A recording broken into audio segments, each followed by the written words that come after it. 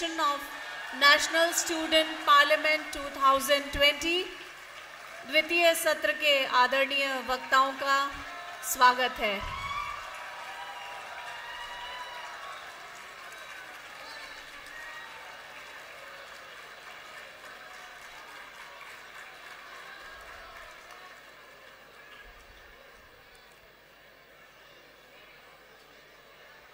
राष्ट्रीय छात्र संसद 2020 का दूसरा सत्र, जिसमें हम विचार मंथन करने जा रहे हैं, इस विषय पर नए भारत का नया तेवर nationalism to economic slowdown ये नया भारत है। इस नए भारत में एक सरकार है, एक विपक्ष है और एक जनता है। नए भारत की सरकार कहती है कि भारत बदल चुका है या भारत बदल रहा है। और सरकार के हिसाब से इस बदलते भारत का मुख्य मुद्दा है राष्ट्रवाद। हालाँकि आश्चर्य में डालने वाली बात यह है कि नए भारत में सरकार विरोधी होने का मतलब राष्ट्र विरोधी होना क्यों होता है, ये सरकार नहीं समझा पाती। इस देश में एक विपक्ष है जो संसद की लड़ाई को सड़कों तक ले जाता है, जो सरकार के हर कदम को राष्ट्र विरोधी बताता है, और सरकार और विपक्ष के इन परस्पर विरोधी रुख के बीच एक जनता है, जो इन दोनों ही से कहती है कि तुम्हारी फाइलों में गाँव का मौसम गुलाबी है, मगर ये आंकड़े झूठे हैं, ये दावा किताबी है। तुम्हारी मेज चांदी की तुम्हारे जाम सोने के, यहाँ जुम्मन के घर में आज भी फूटी रकाबी है। और ये जनता इससे सवाल भी पूछती है कि जो उलझकर रह गई है फाइलों के जाल में, गाँव तक वो रोशनी पहुंचेगी कितने साल में? और जब उन सवालों का उत्तर नहीं मिलता तो फिर ये जनता अपने नेताओं से हाथ जोड़ के प्रार्थना भी करती है कि छेड़िए मिलजुल के एक जंग गरीबी के खिलाफ दोस्त मेरे मजहबी नगमात को मत छेड़िए। मगर अब तक इन्होंने सुना नहीं। तो देखते हैं, राष्ट्रीय छात्र संसद 2020 के मंच पर ये आवाज़ जब गूंजेगी तो कहाँ तक पहुँचेगी? अब मैं आदरणीय अतिथियों को आमंत्रित कर रही हूँ। सबसे पहले आज के इस सत्र के मॉडरेटर भारत के जाने माने टेलीविज़न एंकर, पत्रकार और लेखक अशोक श्रीवास्तव जी, जो दो टूक बात कहने के लिए मशहूर हैं, उनसे निवेदन है कि मंच पर पधारें। उनके पश्चात मैं आमंत्रित करना चाहती हूँ सुप्रसिद्ध लेखक, TV panelist TEDx speaker Shri Shantanu Gupta ji को। The monk, who became chief minister biography of current Uttar Pradesh CM Yogi Adityanath and many other books he has to his credit, Shantanu Gupta ji.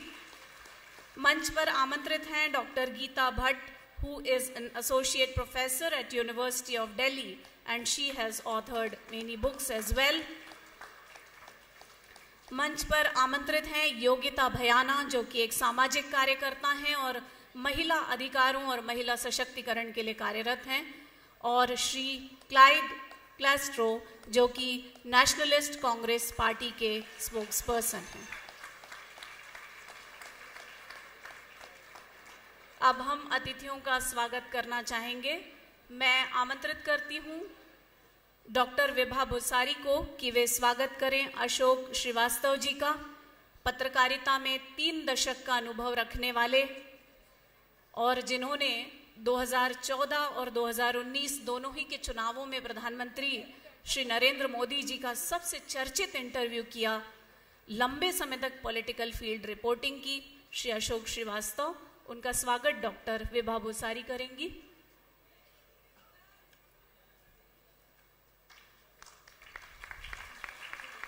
देश के ऐसे पहले पत्रकार जिन्होंने Switzerland जाकर सबसे पहले बलूचिस्तान के नेता बरहमदाग बुख्ती का इंटरव्यू किया। तीन प्रधानमंत्रियों के विदेश दौरों की रिपोर्टिंग कर चुके हैं। मीडिया एजुकेशन से भी जुड़े हैं।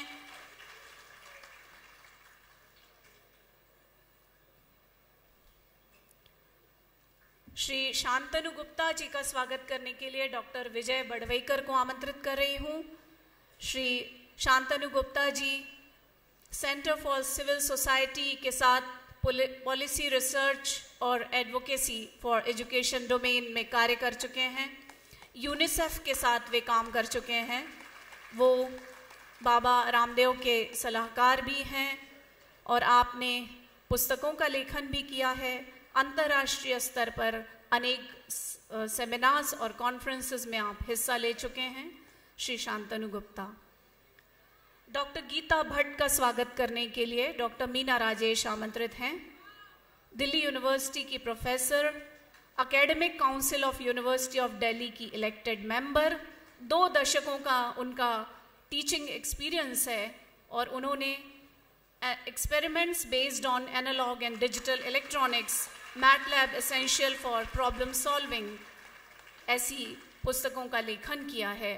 आपको अनेक पुरस्कारों से सम्मानित किया जा चुका है, डॉक्टर गीता भट्ट। योगिता भयाना जी का सम्मान और स्वागत करने के लिए डॉक्टर अन्नपूर्णा मेहता आमंत्रित हैं। Yogita ji quit a successful career to pursue her passion in social development and justice उन्होंने महिला सशक्तिकरण के लिए जो काम किया है, उस काम की मिसाल नहीं मिलती और ख़ास तौर पे महिलाओं के विरुद्ध जो सेक्सुअल अपराध बढ़ रहे हैं, उसे रोकने की दिशा में प्रभावी कानून बनाने के लिए जिस जन आंदोलन को उन्होंने छेड़ा है, उसके लिए वो निश्चित रूप से साधुवाद की पात्र हैं। योगिता भयाना। इसके बाद मैं डॉक्टर लक्ष्मी महातारे को आमंत्रित कर रही हूँ। वो मिस्टर क्लाइड क्लास्ट्रो जी का स्वागत करें, जो कि राष्ट्रवादी कांग्रेस पार्टी महाराष्ट्र के प्रवक्ता हैं। वैसे आप एक लेखक और एक इंटीरियर डिज़ाइनर भी हैं प्रिंट मीडिया और इलेक्ट्रॉनिक मीडिया दोनों ही से जुड़े हुए हैं। और आपका मानना है कि लेखन या संदेश वो होने चाहिए जो लोगों की ज़िंदगी को बदल सकें, उन्हें सफल बना सकें। श्री क्लाइड क्लास्ट्रो। तो अब नए भारत के नए तेवरों पर यह मंच विचार मंथन करेगा। उसके बाद हमारे दो स्टूडेंट स्पीकर्स अपने विचार रखेंगे। उसके बाद आपसे भी कुछ प्रश्न आमंत्रित किए जाएँगे। तो देखते हैं कि नए भारत के नए तेवर में राष्ट्रवाद कहाँ पर है और आर्थिक परिस्थिति में आती हुई गिरावट कहाँ पर है। इन दोनों के बीच समन्वय कहाँ पर है? सवाल तो बहुत सारे हैं, मगर उत्तर कहाँ पर है? अब मैं अशोक श्रीवास्तव जी को मन सौंपती हूँ।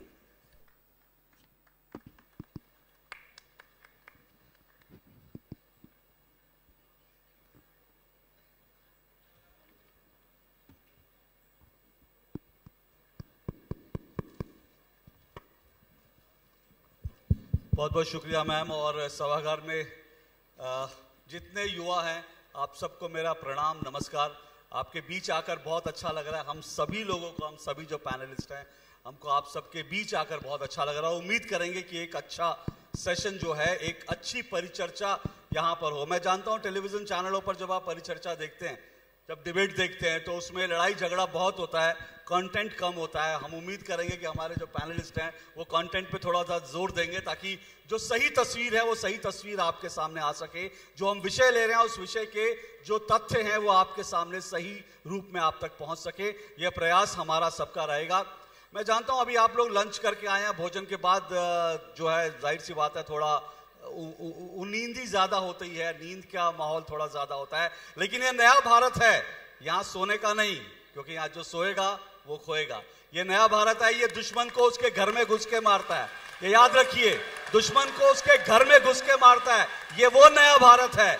और उस नए भारत के साथ आप सब लोग जुड़ रहे हैं। आप उस नए भारत का हिस्सा हैं। और आज हम उस नए भारत के नए तेवरों की बात करेंगे। वो तेवर जो है हमको दिखते हैं, लेकिन साथ साथ जब तेवर दिखते हैं तो हम दूसरी तरफ़ ये भी देखते हैं कि छात्र जो है हिंदुस्तान का बहुत सारी यूनिवर्सिटीज हैं जहाँ पर छात्र आंदोलित है और कहीं ना कहीं जो है वो आक्रोशित है, सड़कों पर प्रदर्शन कर रहा है। अगर नया भारत है ये तो उस नए भारत में हमारे जो स्टूडेंट्स हैं, छात्र हैं वो कहाँ है? उनकी क्या भूमिका है? वो जो मांग कर रहे हैं, उनकी मांग को क्या नया भारत सुन रहा है? और दूसरी तरफ़ ये भी सवाल है कि क्या जो आर्थिक स्थिति है, अगर ये नया भारत बेरोजगार होगा तो फिर इसके तेवरों का हम क्या करेंगे? इस नए भारत को तेवर भी चाहिए, लेकिन साथ साथ इस नए भारत को रोज़गार भी चाहिए। यही हमारा आज का विषय है। इसी विषय को मैं आगे बढ़ाऊँगा और शुरुआत में हम कोशिश करेंगे कि मैं सभी पैनलिस्ट से निवेदन करूँगा कि करीब पाँच से छह मिनट में अपना एक ओपनिंग रिमार्क रखें इस विषय के।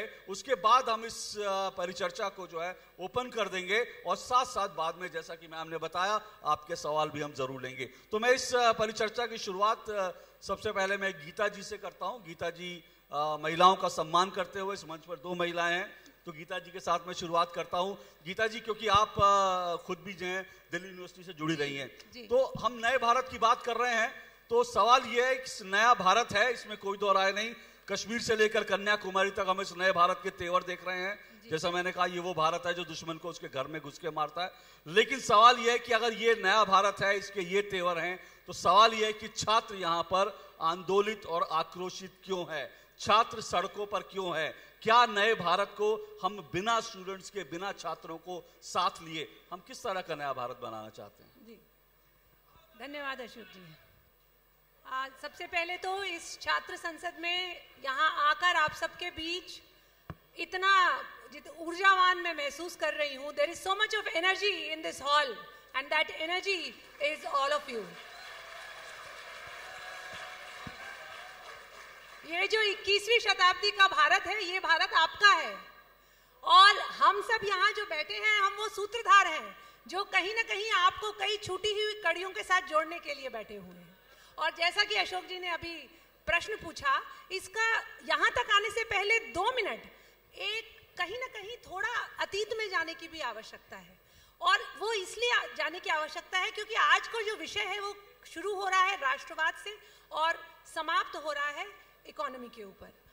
ये जो एक इतना बड़ा फासला है, इसके बीच में कई बार ये प्रश्न उठता है कि हम लोग क्यों ये बात है कि आज भी इक्कीसवीं शताब्दी में जो ये भारत क्योंकि हम सिर्फ़ एक देश नहीं है हम एक भूमि का टुकड़ा नहीं है।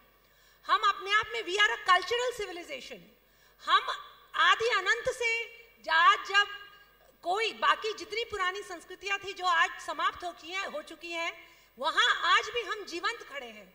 और हम जो जीवंत खड़े हैं उसका कहीं ना कहीं एक योगदान इस बात का है कि जो हमारे पूर्वज थे उन्होंने जो हमारे लिए जो एक एक तरह से आप ये कहें कि जो हमारे लिए उन्होंने अपनी जो रचनाएँ छोड़ दी थी, जो उन्होंने एक इतनी अमृत से भरी अपनी जो विजडम है, जो हम लोगों के लिए छोड़ दी थी, वो कहीं ना कहीं रस रस के, चाहे धीरे धीरे ही सही, कहीं ना कहीं आज भी हमारे ऊपर गिर रही है।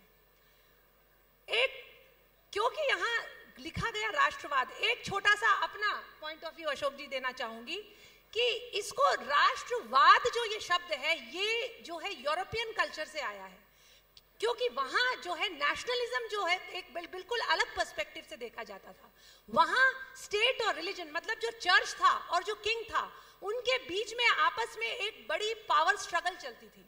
और उसके बाद जब सेकेंड वर्ल्ड वॉर के समय पे जिस तरह से हिटलर और मुसोलनी ने जिस तरह के वहाँ अपने अपने देशों में जो भी उन्होंने किया, उसको लेकर एक जो पर्सपेक्टिव है वो बहुत अलग तरीके का है। लेकिन इसी पर्सपेक्टिव को भारत में भी, जब भारत स्वतंत्र हो गया, उसके बाद इसी पर्सपेक्टिव को कहीं ना कहीं जो पूरा एजुकेशन सिस्टम है, उसके थ्रू उसी को हमारे ऊपर भी थोपने का प्रयास किया गया। उसे मैं राष्ट्रीयता कहना ज़्यादा पसंद करूँगी, क्योंकि जो हम जिस चीज़ की बात करते हैं, वो कल्चरल नेशनलिज्म है। हमारे यहाँ जो बात अथर्वेद में कही गई है, वो ये कही गई है कि ये जो पृथ्वी है, यह माता है और हम सब इसी के शिशु हैं। तो एक तरफ़ एक जो बड़ा एकोमोडेटिव है रिसेप्टिव जो हमारा कल्चर रहा है, उसका एक और छोटा सा उदाहरण देना चाहूँगी। शायद आप, आपने सुना हो, शायद ना सुना हो। और ये समय है द्वितीय विश्व युद्ध का सेकेंड वर्ल्ड वॉर के टाइम सेकेंड वर्ल्ड वॉर के समय, जब हिटलर का आतंक फैला हुआ था, उस समय पोलैंड की करीब 500 महिलाएँ और बच्चे वहाँ से भाग के समुद्र के किनारे जो है जहाज़ लेके भटक भटक के कई देशों में गए, क्योंकि वो चाहते थे वहाँ आश्रय लेना। लेकिन किसी देश में इतनी हिम्मत नहीं थी, क्योंकि उस समय हिटलर का जो जिस प्रकार से आतंक था, किसी में इतनी हिम्मत नहीं थी कि उनको अपने यहाँ आश्रय दे सके। चाहे वो खाड़ी के देश रहे हो, चाहे वो इंग्लैंड रहा हो, चाहे कोई भी और देश रहा हो जहाँ जहाँ वो गए सबने मना कर दिया। वो भारत आए। जब वो भारत पहुँचे तो यहाँ उस समय ब्रिटिशों का ब्रिटिशर्स का आधिपत्य था। ब्रिटिश सरकार ने भी उस समय साफ़ मना कर दिया कि इस समय युद्ध का समय है हम किसी को यहाँ नहीं रखना चाहते। ऐसे समय में जामनगर के राजा राजा जडेजा उन्हों के पा, उनके पास जब ये खबर पहुँची कि ऐसे जो बच्चे उसमें ज़्यादातर बच्चे और महिलाएँ हैं जो भूखे हैं जिनकी बहुत बुरी हालत है आधे से ज़्यादा बहुत बीमार हैं और वो शरण मांगने आए हैं, लेकिन वहाँ की सरकार ने इससे मना कर दिया। जैसा आप जानते हैं, उस समय बड़ी सारी रियासतें थी, जामनगर भी एक रियासत थी। वहाँ के राजा होते हुए, राजा जडेजा ने ब्रिटिश सरकार को कहा कि आप इन्हें नहीं दे सकते, शरण, लेकिन मैं इन्हें शरण दूँगा। और उनके लिए भी वो कोई आसान समय नहीं था। उस समय काफ़ी यहाँ पे भुखमरी थी और अकाल पड़ा हुआ था। लेकिन ऐसे समय में भी उन्होंने उनको आश्रय दिया और सिर्फ़ आश्रय ही नहीं दिया उन्होंने उनके खान पान के लिए गोवा से, खास करके वहाँ से जो है, खाना पकाने वाले बनाए। उनके लिए वहाँ एक ईसाई पूजा के लिए उन्होंने पादरी का नियुक्त किया। उनके बच्चों को पढ़ाने के लिए हर तरह की उनको व्यवस्था कराई। और जब ये बात पोलैंड में पता चली तो कई ऐसे लोग यहाँ आए। और जामनगर में सात आठ वर्षों तक रहे, जब तक युद्ध समाप्त नहीं हो गया। और जब युद्ध समाप्त हुआ तो वो सब अपने यहाँ वापस चले गए। अगर आप कभी आपको पोलैंड की राजधानी वॉर्सा जाने का अगर आपको मौका मिले तो वहाँ जाइएगा, वहाँ एक महाराजा चौक है। और वहाँ तीन चार ऐसे स्कूल हैं, विद्यालय हैं, जो इनका नाम ही महाराजा स्कूल है। यहाँ से जो गए हुए लोग थे, उन्होंने महाराजा के नाम के वहाँ से ट्रस्ट खोला, स्कूल चलाए। और अगर आप उन स्कूलों के अंदर जाएँगे तो उनकी दीवारों पर आपको यहाँ के देवती देवी देवताओं और सिख गुरुओं के मोटिव्स बने हुए मिलेंगे। क्या ऐसा आप भारत के किसी स्कूल में देख सकते हैं? नहीं देख सकते। हैं तो आप ये देखिए कि हमारी जो संस्कृति है we belong to such a rich cultural heritage which has always invited people दुनिया की जो सबसे पहली मस्जिद है, चिरामन मस्जिद, वो केरल में, भारत में ही सबसे पहले बनी। जब एक हिंदू राजा ने वहाँ से आने वाले व्यापारियों को पूजा पाठ के लिए वहाँ ज़मीन दी। तो जब हम एक अपनी राष्ट्रीयता की बात करते हैं तो ये हमारी सांस्कृतिक राष्ट्रीयता है। और उसी को अगर अब ये जो उदाहरण है, कितना बड़ा उदाहरण है, क्या कभी किसी ने किसी पाठ्यक्रम में इस उदाहरण को डालने का सोचा? क्यों नहीं सोचा? आप ये बताइए, ये पढ़कर सुनकर आज आपको कितना अच्छा लग रहा होगा? और कहीं ना कहीं इससे हम कहीं ना कहीं कितना प्रभावित होते हैं, कितना इंस्पायर होते हैं। कि हमारे पूर्वजों ने किस तरह का माफ़ी चाहता हूँ मैं सिर्फ़ एक मिनट आपके पास और है अपनी प्रारंभिक वक्तव्य का। तो विषय को थोड़ा सा हम और सिंप्लीफाई बिल्कुल। फिर और, अगले वक्त और अगर ए, क्यों मैं पाठ्यक्रम पे इसलिए आई हूँ? क्योंकि आज जो विश्वविद्यालयों में हो रहा है आज विश्वविद्यालयों में कुछ विश्वविद्यालयों में जो कुछ घटनाएँ अभी अभी आजकल में हुई हैं उनको लोग नाम दे रहे हैं कि जो स्टूडेंट्स एक्टिविज्म नहीं करेंगे तो क्या करेंगे? क्यों नहीं करना चाहिए? बिल्कुल करना चाहिए। Student activism is an integral part of any campus, any university. It should be welcome. उसका स्वागत होना चाहिए लेकिन क्या उस एक्टिविज्म का ये मतलब है कि आप अपने ही विश्वविद्यालय की जो प्रॉपर्टी है उसको आप डैमेज करें? आप जाके वहाँ तोड़फोड़ करें? वो आप ही की ज़मीन है। आप आप ही ने उस क्लासरूम में जाके पढ़ना है। वहाँ की इंटरनेट की सुविधाएँ आप ही को मिलनी है। तो क्या एक्टिविज्म के नाम पे हम ये कह सकते हैं कि activism is the central point of any university culture no it is not it is part of the integral culture जो पूरा विश्वविद्यालय की जो संस्कृति है, वो उसका भाग ज़रूर हो सकता है, लेकिन वो उसका फोकल पॉइंट नहीं हो सकता, उसका सेंट्रल पॉइंट नहीं हो सकता। और तीसरी बात कि जब विश्वविद्यालयों में अगर राजनेताओं और राजनीतिक दलों की दखल अंदाजी शुरू हो जाएगी तो जो कैंपस कल्चर है वह एक पॉलिटिकल अखाड़ा बन जाएगा। तो कहीं ना कहीं वो जो एक लाइन ड्रॉ करने की जो आवश्यकता है, वो बहुत ज़रूरी है। ठीक है, बहुत बहुत शुक्रिया प्रोफेसर गीता। आपने कहा एक लाइन ड्रॉ करने की आवश्यकता है इसमें कोई दो राय नहीं, एक लाइन ड्रॉ करने की आवश्यकता है। प्रोफेसर गीता ने पाठ्यक्रम का भी मुद्दा उठाया और ये अपने आप में बहुत महत्वपूर्ण मुद्दा है, पाठ्यक्रम का मुद्दा, क्योंकि आपको सिर्फ़ एक छोटा सा उदाहरण दे दूँ कि दिल्ली विश्वविद्यालय की जो रेफरेंस बुक्स हैं दिल्ली विश्वविद्यालय की रेफरेंस बुक्स उसमें, उन किताबों में 2015 से पहले तक, एक पाठ्यक्रम ऐसा था, एक पाठ ऐसा था, एक लेक्चर ऐसा था, एक लेसन ऐसा था, जिसमें लिखा था, भगत सिंह आतंकवादी थे। जो पाठ्यक्रम भगत सिंह को आतंकवादी पढ़ाए उस पाठ्यक्रम को हिंदुस्तान के सिलेबस का हिस्सा नहीं होना चाहिए। ये 2015 से पहले का ये भी सच है। ज़ाहिर सी बात है कि हमें पाठ्यक्रमों में, इस देश में जो कुछ हुआ, उसके बारे में ज़रूर बात करनी चाहिए और एक्टिविज्म की आपने बात कही, हम सब जानते हैं बहुत सारे लीडर्स इस देश के जो हैं, वो दरअसल स्टूडेंट पॉलिटिक्स से ही निकले हैं। लेकिन स्टूडेंट पॉलिटिक्स किस तरह की हो, ये भी आज एक सवाल ज़रूर उठ रहा है और खास करके नागरिकता संशोधन कानून को लेकर जो है सवाल ज़रूर उठ रहा है। लेकिन इसी विषय पर भी हम ज़रूर आएँगे क्योंकि ये आज जो हम देख रहे हैं कि स्टूडेंट्स जिस तरह से आक्रोशित है, उसमें एक बड़ा मुद्दा जो है नागरिकता संशोधन कानून है। हालाँकि उसमें पोस्टर आपको कश्मीर के भी दिखाई देते हैं तो कहीं ना कहीं मुद्दा कहीं कश्मीर भी है। इन सब पर आऊँगा, मैं क्लाइट साहब से कहता हूँ कि वो अपनी बात रखें, अपना ओपनिंग स्टेटमेंट रखें, लेकिन एक बात सीधी से कह दूँ शुरुआत करने से पहले, क्लाइट साहब राष्ट्रवादी कांग्रेस पार्टी भी, क्योंकि उसकी तो उसकी तो नाम में ही राष्ट्रवादी है तो राष्ट्रवादी तो सभी है देश की पॉलिटिकल पार्टियाँ। लेकिन ऐसा लगता है कि नए भारत के तेवर जो हैं, उसका आनंद राष्ट्रवादी कांग्रेस पार्टी भी ले रही है, क्योंकि आज आप शिवसेना के साथ मिलकर सरकार में बैठे हैं, जो एकदम अपोजिट विचारधारा की तो मुझे लगता है नए भारत के तेवरों का आनंद आप भी ले रहे हैं। अपनी बात रखिए। अशोक जी, आपसे एक आज्ञा चाहता हूँ।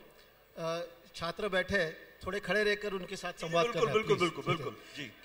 एक वहाँ बैठो तो ऐसा एक अलग महसूस हो रहा है।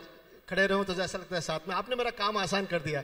अब नमस्ते एवरीबॉडी सबसे पहले तो मैं राजसैनी ग्रुप का शुक्रिया अदा करना चाहता हूँ कि मुझे यहाँ पर बुलाया बात करने के लिए। और डॉक्टर विजया और डॉक्टर मीना उनका शुक्रिया अदा करना चाहता हूँ। और सब मेरे पैनलिस्ट हम लोग आप लोग ने शायद हमें टीवी पर बहुत झगड़ा करते हुए देखा होगा लेकिन असलियत में हम एक दूसरे को कुछ नहीं करते तो आप घबराइए नहीं। गीता जी ने अपनी बात रखी। मेरे जहन में या मन में बार बार एक सवाल आता है कुछ दिनों से मतलब मैं पिछले पाँच छः सालों से, सात सालों से टेलीविज़न चैनल पे बहुत सारा डिबेट या संवाद करता हूँ, लोगों से बातें करता हूँ। मैं एक पॉलिटिकल पार्टी से हूँ, जिसकी विचार आज के जो सरकार के जो लोग हैं, विपरीत विचार वाला हूँ मैं, ठीक है? मानिए।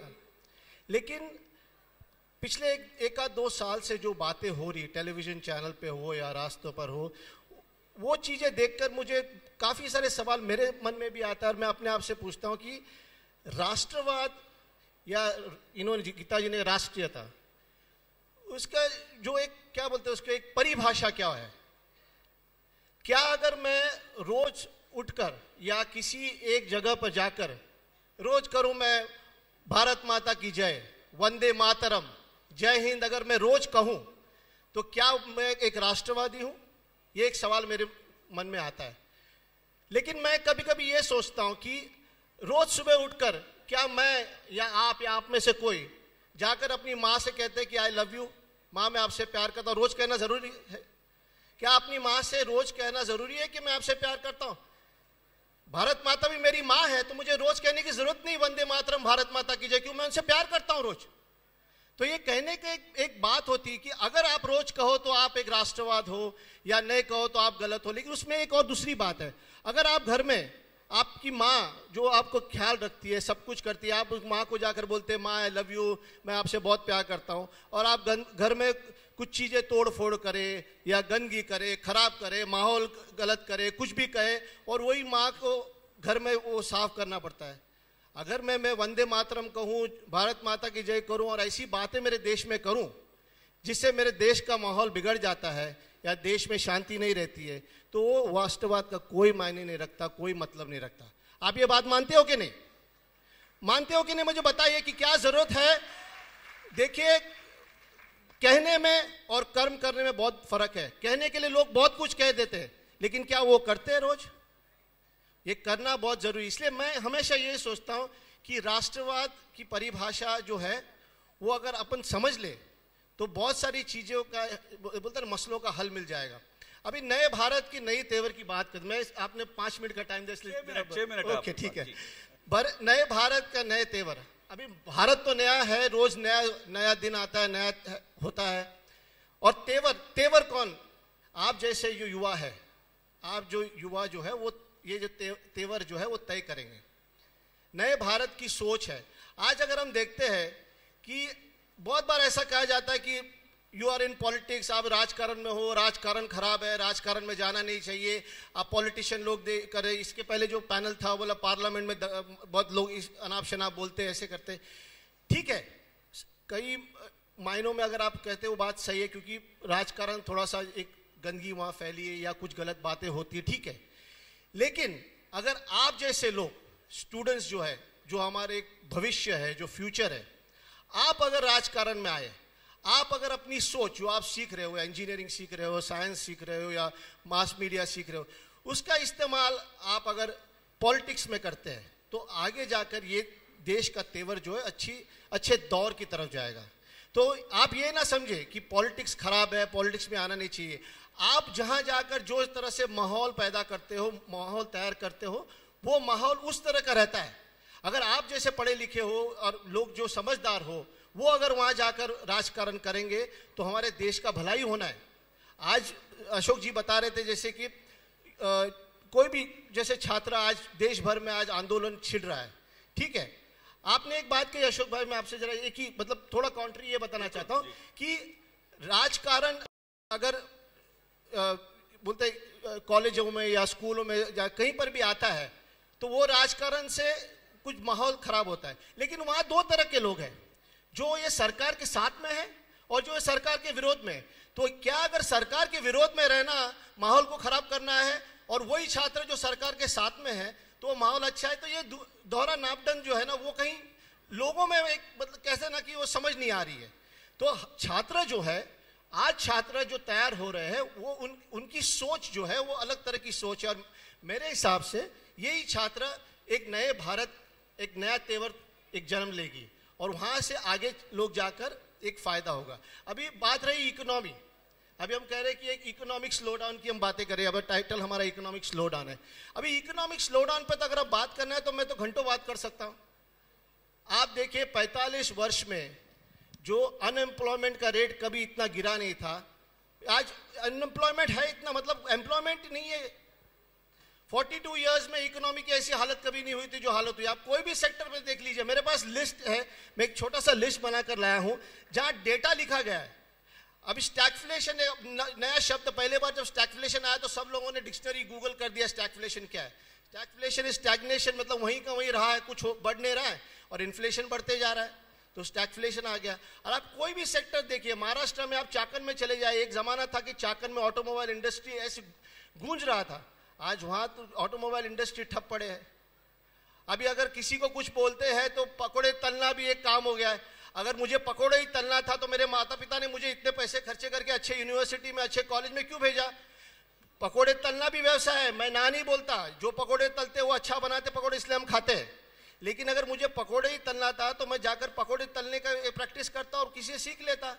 मैं क्यों इंजीनियरिंग करके जाकर पकोड़े तलना है? और बाद में तो ऐसी बात हो गई कि का, कांदे कांदे का भाव जो इतना बढ़ गया है कि लोग अभी पकोड़े भी तलने की सोच रहे मैंने एक कैरिकेचर बनाया तो मैं बहुत सारा कैरिकेचर बना तो उसमें एक गोभी है और एक कांदा है। तो गोभी कहता है, कांदे से भाई, आपको तो पता नहीं, मेरे अच्छे दिन आ गए, लोग मुझे खा रहे हैं।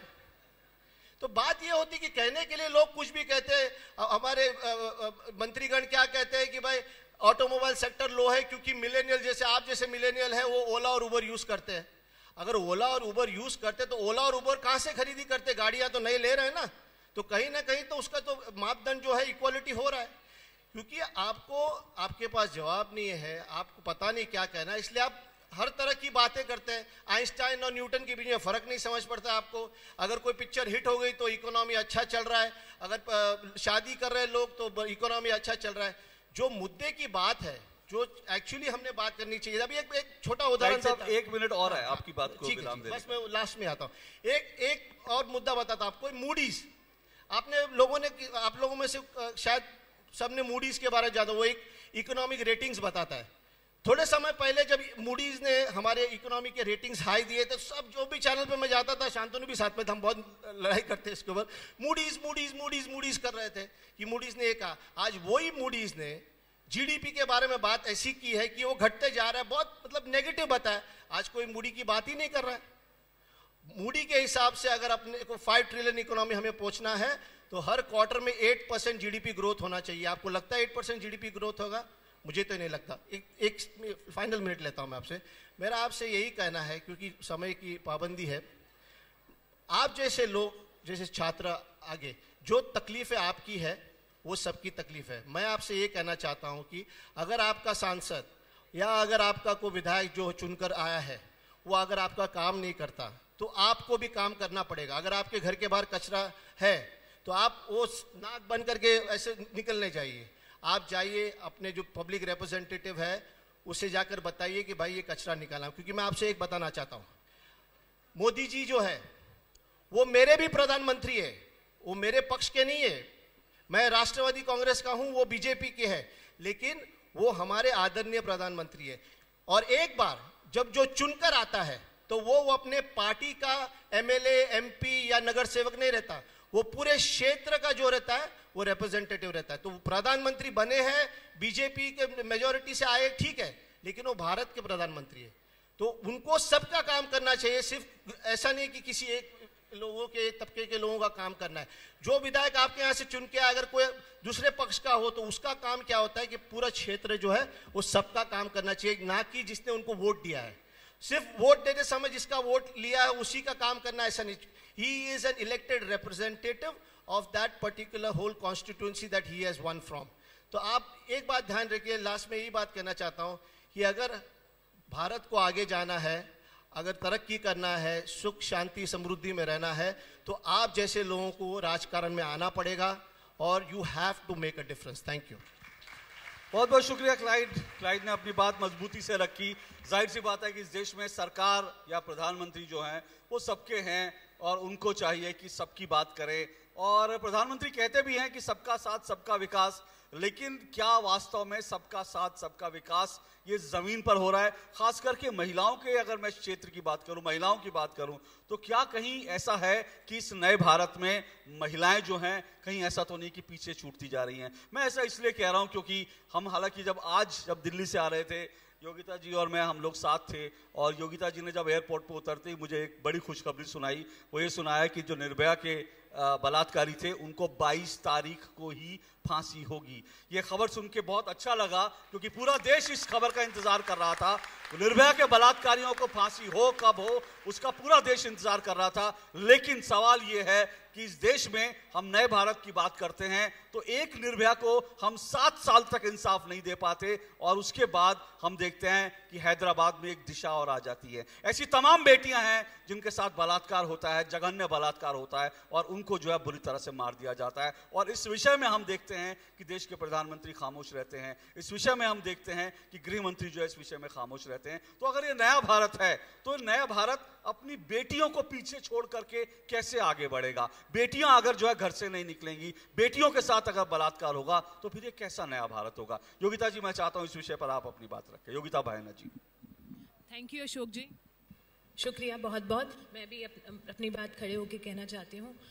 अभी आपने बोला बहुत अच्छा बोला कि माँ होती है घर में तो उसको रोज रोज आई लव यू नहीं बोलते पर कभी कभी मन करता है वंदे! मातरम। वंदे! मातरम। कभी कभी माँ खुश भी होती है ना बोलने से इसीलिए। मैं ना देखिए, मैं महिलाओं के राइट्स के लिए काम करती हूँ और स्पेशली सेक्सुअल वायलेंस पे तो मैं घुमा फिरा के यही बात लाना चाहती हूँ जो अशोक जी ने शुरुआत की कि नेशनलिज्म की बात कर रहे हैं इकोनॉमी की बात कर रहे हैं। सारे मुद्दे जुड़े हुए हैं। महिला सुरक्षा भी इन सब मुद्दों से जुड़ा हुआ है। नेशनलिज्म से स्टार्ट करते हैं और फिर मैं बताऊँगी कि वो महिला सुरक्षा से कैसे जुड़ा है। जब हम कहते हैं नेशनलिज्म आपको क्या समझ में आता है नेशनलिज्म से? कोई बोलना चाहेगा नेशनलिज्म जैसा कि गीता जी ने भी बोला nationalism the very base of nationalism is our constitution हमारा जो संविधान है, वो ही उसकी बुनियाद है। किसकी? नेशनलिज्म की। कोई मुझे कह दे कि मैं एंटी नेशनल हूँ या नेशनल हूँ, कौन होता है बोलने वाला? कौन होता है कोई कहने वाला कि मैं नेशनल हूँ कि एंटी नेशनल हूँ? क्या स्लोगन बोलने से, क्योंकि हमने बोला, क्या खाली सिर्फ़ स्लोगन बोलने से या कुछ कलर के कपड़े पहनने से या तिरंगा पकड़ लेने से, वही नेशनल है? नहीं। अगर जब तक आप अपने संविधान की इज़्ज़त नहीं करेंगे, आप एंटी नेशनल हैं। और हमारा संविधान क्या कहता है? क्या कहता है हमारा संविधान? जिस दिन हमारा संविधान बना था, क्या लिखा था? कोई जानता है इधर? कोई बोलना चाहेगा? We the people of India can you repeat after me we the people of India sovereignty decide to constitute India as sovereignty decides to constitute India as as socialist, secular, democratic country, right? Democratic republic और country तो इसमें अपने आप में ही हमारा constitution हमें सब बता देता है कि हम धर्म निरपेक्ष हैं डेमोक्रेसी हैं और हम समाजवादी हैं तो हम हम इन तीन शब्दों के ऊपर हमारा संविधान खड़ा है। अगर हम इन तीन शब्दों को रिस्पेक्ट नहीं करते हैं तो हम एंटी नेशनल हैं। और हम नेशनलिस्ट कब हैं? जब हम जस्टिस फ्रीडम जो कि हमारे कॉन्स्टिट्यूशनल राइट्स हैं, जो हमें बताते हैं कि हम सब इक्वल हैं अपॉर्चुनिटीज़ इक्वल हैं फ्रीडम ऑफ़ एक्सप्रेशन है फेथ राइट टू फेथ है जेंडर इक्वालिटी है, वो हमारा संविधान है। तो चाहे सरकारें कांग्रेस की हो या भाजपा की हो अगर वो हमें ये राइट्स देती हैं तो वो नेशनलिज्म वाली पार्टीज़ हैं, नहीं तो वो भी एंटी नेशनल है। तो मेरा आपसे एक ही, आप यंगस्टर्स हैं, आप नई जनरेशन है, और आपसे पूरी उम्मीद है कि आप इसका डिफरेंस समझेंगे और अपने सवाल करेंगे, नए भारत का निर्माण आप ही करेंगे। नए भारत के निर्माण में महिला सुरक्षा आज की डेट में सबसे बड़ा मुद्दा है।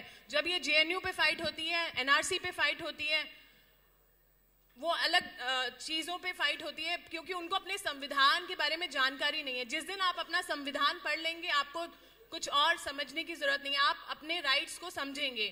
पर क्या इसमें रियल जो मुद्दे हैं, जो रियल हमारी लड़कियों, हमारे देश में हर तीन मिनट में एक बलात्कार हो रहा है। हर तीन मिनट में।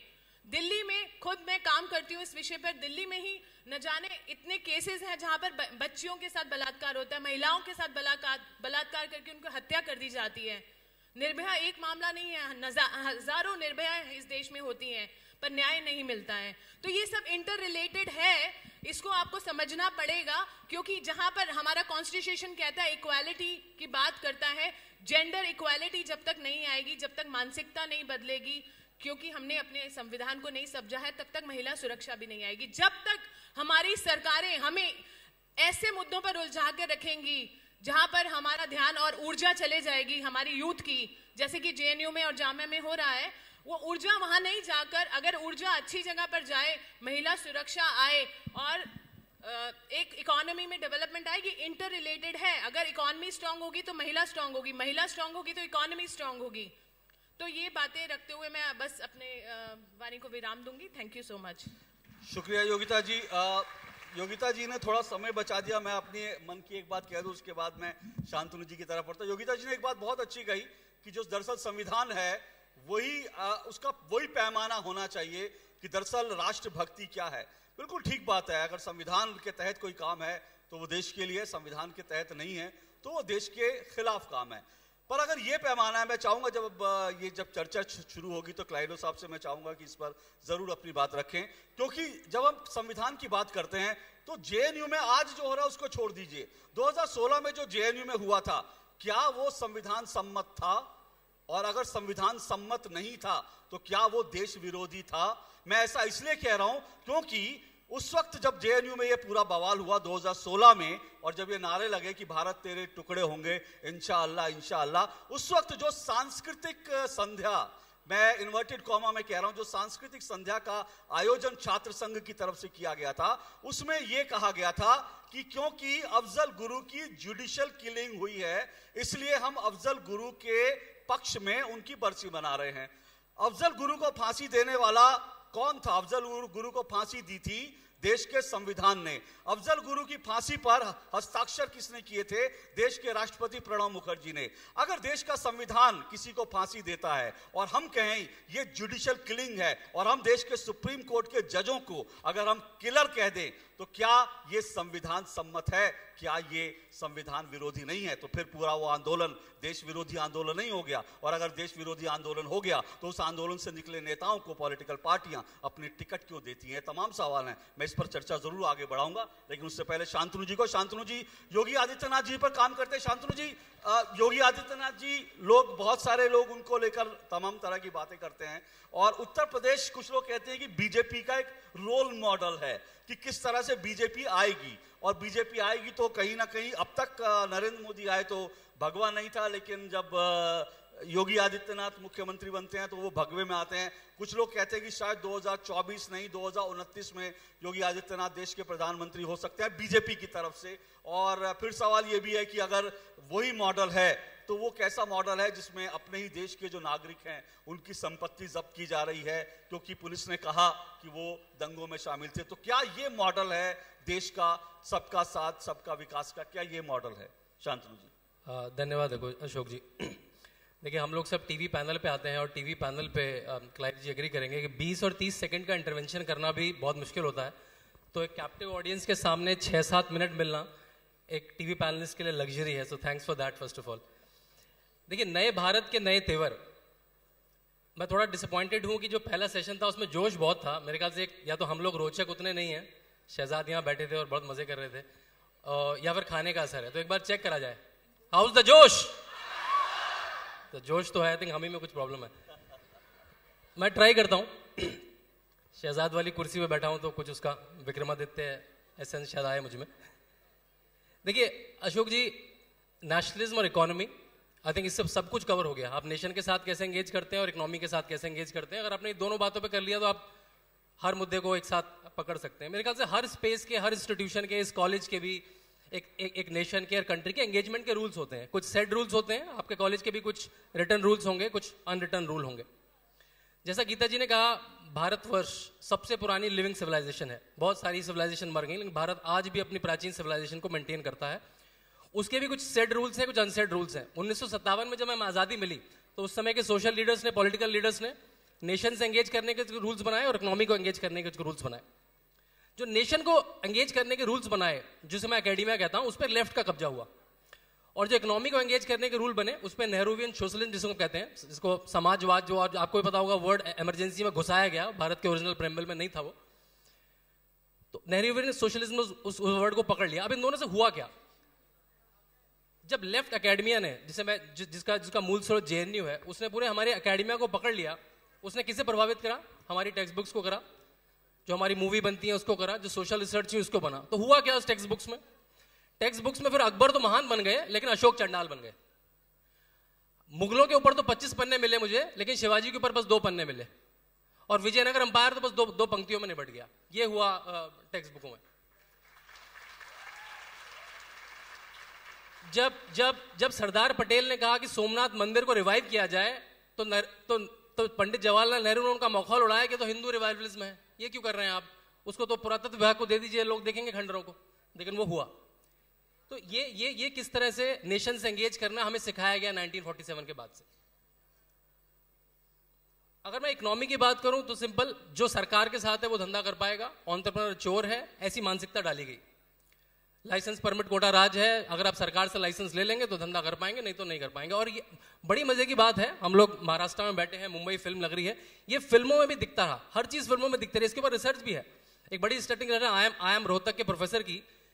उन्होंने दिखाया है कैसे डिस्प्रोपोर्शनली हर बनिया जो पिक्चर में दिखाया जाता है, वो चोर होता है, हर पंडित जो दिखाया जाता है, वो ढोंगी होता है, हर ठाकुर जो दिखाया जाता है, वो रेपिस्ट होता है। ये बिल्कुल उनकी इंपेरिकल रिसर्च है।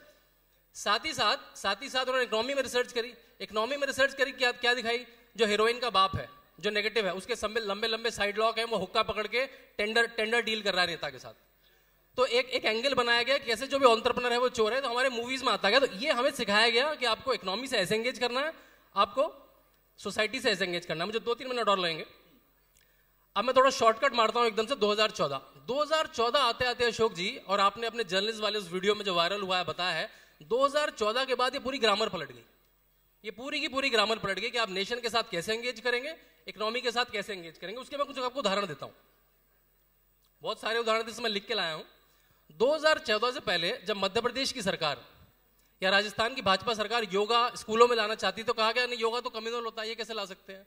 लेकिन 2014 के बाद विश्व के 200 200 देश इंटरनेशनल योगा डे मनाते हैं। ये ग्रामर चेंज हुई। 2014 से पहले स्कूलों में अगर आप गीता लेके पहुँच जाएँ, अरे आप तो कम्युनल हैं, लेकिन आज देश का प्रधानमंत्री, जब दूसरे किसी देश के प्रधानमंत्री से मिलता है तो गीता गीता भेंट करता है। ये 2014 के बाद ग्रामर चेंज हुई पहले जब कोई बाहर से प्रधानमंत्री, राष्ट्रपति आता था, उसको एक जगह थी आपको पता होगा अशोक जी, हैदराबाद हाउस। कुछ भी कोई भी आएगा, हैदराबाद हाउस।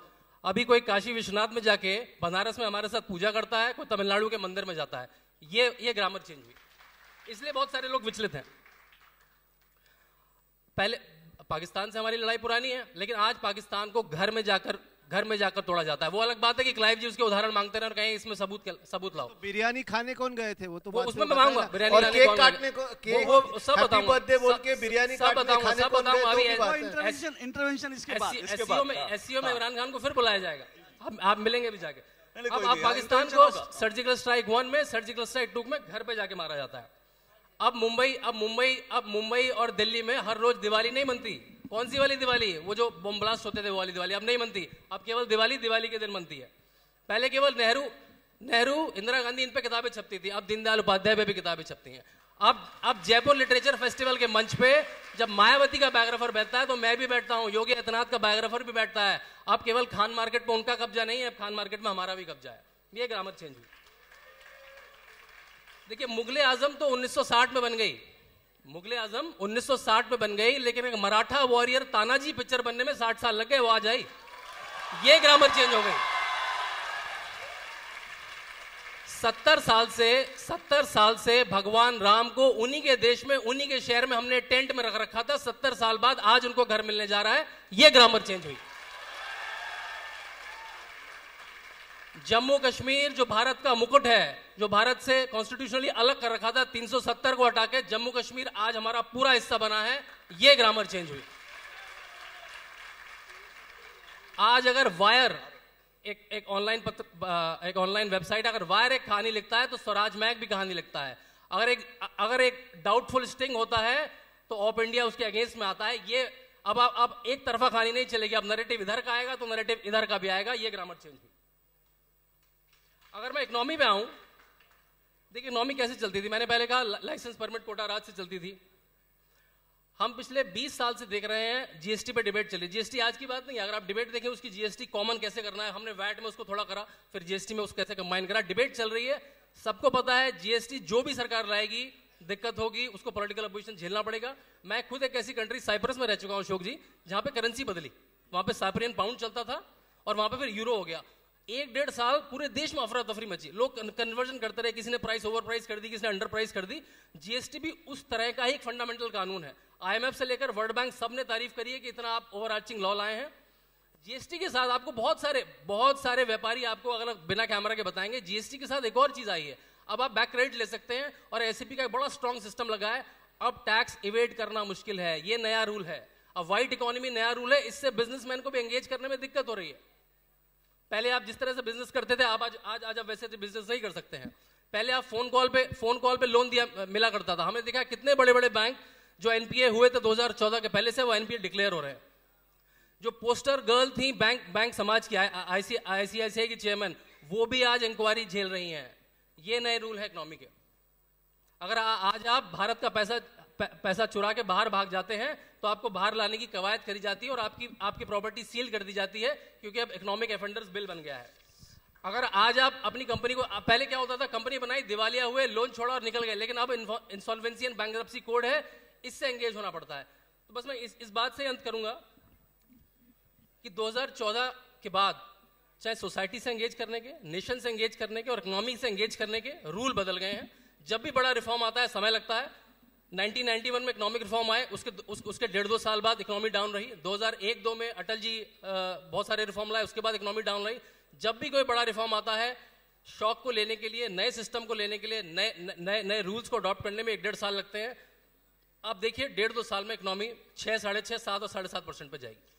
बहुत बहुत शुक्रिया शांतनु जी इस पर आएँगे। इकोनॉमी का इशू अहम है लेकिन राष्ट्रवाद जो है हमारा आज की डिबेट का एक विषय वो भी है। राष्ट्रवाद से आ, जी। मैं आ रहा हूँ आपके पास ही आ रहा हूँ क्लाइडो साहब आप अपनी बात रखे। आप तमाम जो हमारे पैनलिस्ट ने कहा उसका भी जवाब। लेकिन मैं आपकी बात से एक शुरू करता हूँ क्योंकि आपने एक बात कही अपने संबोधन में अपने आपने प्रारंभिक बात में उसमें कहा। उसमें कहा ज़रूरी नहीं कि आपने कहा कि ज़रूरी नहीं कि आपको ये बताना पड़े जताना पड़े कि भाई आप भारत को माँ को अपने प्यार करते हैं। ज़रूरी नहीं कि आपको झंडा उठाना पड़े। ये बिल्कुल ठीक बात है। किसी की राष्ट्रवाद किसी का कोई देश के प्रति प्यार करता है, वो झंडा लेकर, भारत माता की जय करके, वो अपने आप को साबित नहीं करेगा। लेकिन सवाल ये है कि कल तक जो लोग वंदे मातरम पर खड़े नहीं होते थे, वंदे मातरम का विरोध करते थे, जो लोग कल तक इस देश में तिरंगा यात्रा निकलने के बाद एक युवक की हत्या हो जाती है, क्योंकि तो कहा जाता है कि तिरंगा यात्रा आपने निकाली तो आपने लोगों को प्रोवोकेट कर दिया।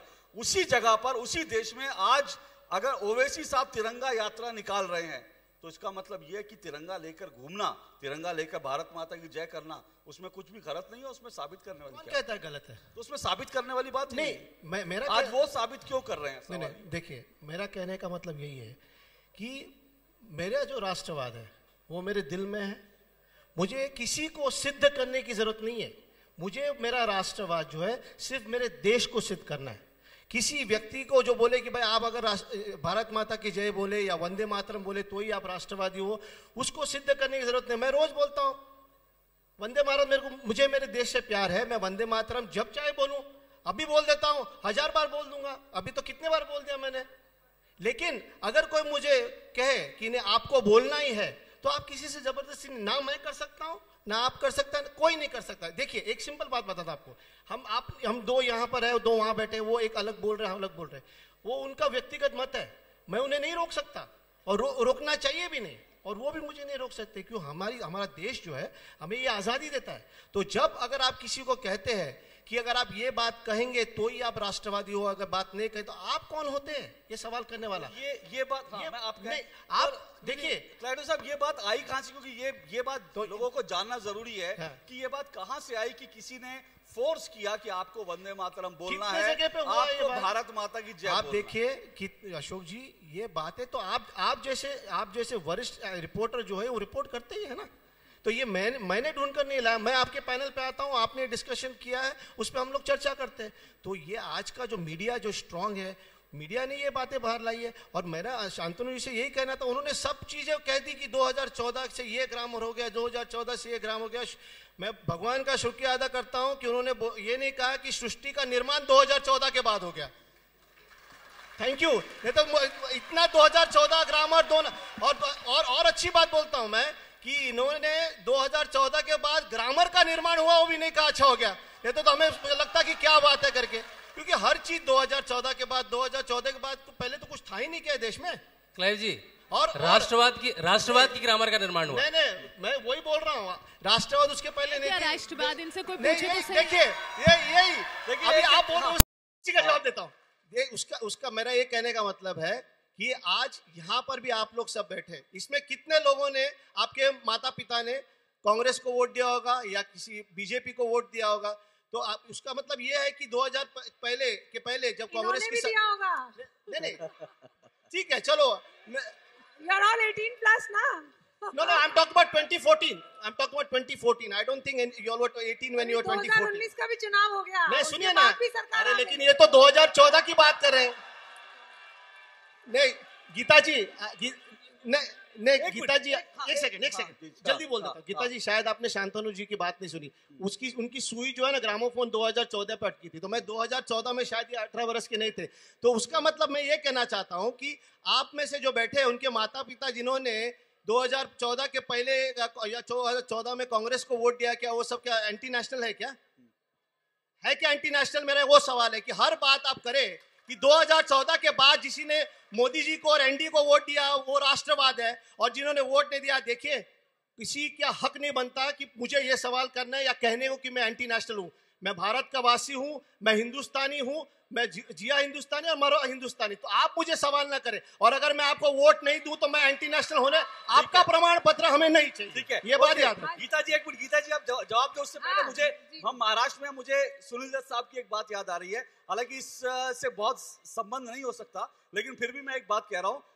यंगस्टर के लिए कह रहा हूँ क्योंकि कुछ लोग सवाल है कि आप अपनी माँ को रोज नहीं बोलते कि मैं आपसे प्यार करता हूँ आई लव यू एक बार सुनील दत्त साहब ने कहा था कि जो देश है वो आपके लिए देश से वो प्यार कीजिए जो आप महबूबा से करते हैं। तो महबूबा को आपको आई लव यू रोज बोलना पड़ता है। भले ही तो पत्नी को पत्नी को रोज बोलना पड़ता है। पत्नी को रोज बोलना पड़ता है। माँ को आप नहीं कहे तो कभी कभी चलता है। जी गीता जी। जी अशोक जी देखिए टेन सेकेंड्स टेन सेकेंड्स मैं आप मैं मैं क्योंकि मेरी बात कर रहे हैं मैं अपने मैं भारत माता को मेरी माँ समझता हूँ और मैं माँ- को हमेशा प्यार करूँगा मरने तक। तो आज से देखिए। रोज बोलेंगे। जी। साहब ने जो बात कही यहाँ पे आप आप ठीक बिल्कुल ठीक। देखिए किसी ने नहीं कहा है कि आप सरकार के साथ खड़े हो। अरे लेकिन देश के साथ तो खड़े रहिए भैया। देश के साथ ही नहीं खड़े हो कौन नहीं खड़ा देश के साथ? तो उसका जवाब नहीं दे दो। खड़ा? अगर अब अब मैं बताइए, में दीजिए। आप। तो अब मुझे नहीं- बात तो करिए। सुनिए। अगर आप हम इसको- अगर मैं देश के साथ हूँ। मैं देश एक मिनट एक सेकंड एक सेकंड एक सेकंड एक सेकंड एक सेकंड सुन लीजिए सुन लीजिए। सर, अगर एक मिनट, फिर से मेरी बात सर है एक मिनट एक मिनट सर एक मिनट एक मिनट। मैं आपको रोक नहीं रहा हूँ नहीं नहीं सुन लीजिए अभी। क्राइम साहब एक मिनट रुकिए। साहब सुन एक लीजिए मिनट। अभी। सुन लीजिए आपसे सिर्फ़ एक मिनट, सुनिए, मैं आपसे कह रहा हूँ कि मैं अभी तक अशोक श्रीवास्तव के रोल में था लेकिन अगर आप रिपब्लिक टीवी बनाएँगे तो मुझे अर्णब गोस्वामी के रोल में आना पड़ेगा।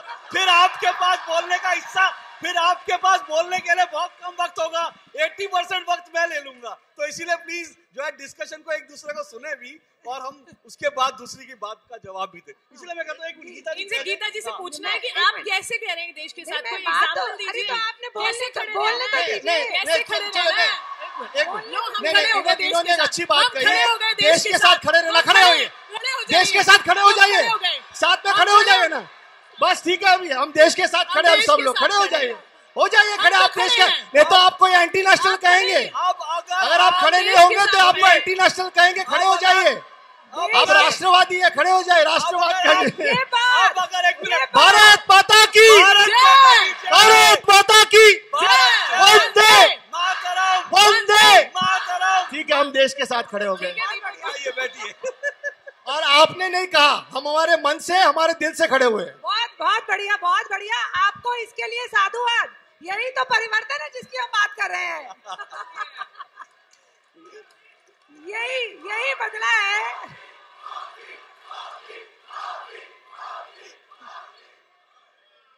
हम हम हम हम सुनिए हम इस डिबेट को ज़ाहिर सी बात है चाहते हैं हम फिर कह रहा हूँ मैं कि राष्ट्रवाद का मुद्दा ऐसा होता है कि हर एक के रोंगटे खड़े हो जाते हैं। क्लाइव साहब ने सीटों से आपको खड़ा कर दिया लेकिन थोड़ा मुद्दे की भी बात करते हैं तो गीता जी जो मुद्दा ये बार बार उठा रहे हैं कि क्या इस देश में जबरन थोपा जा रहा है?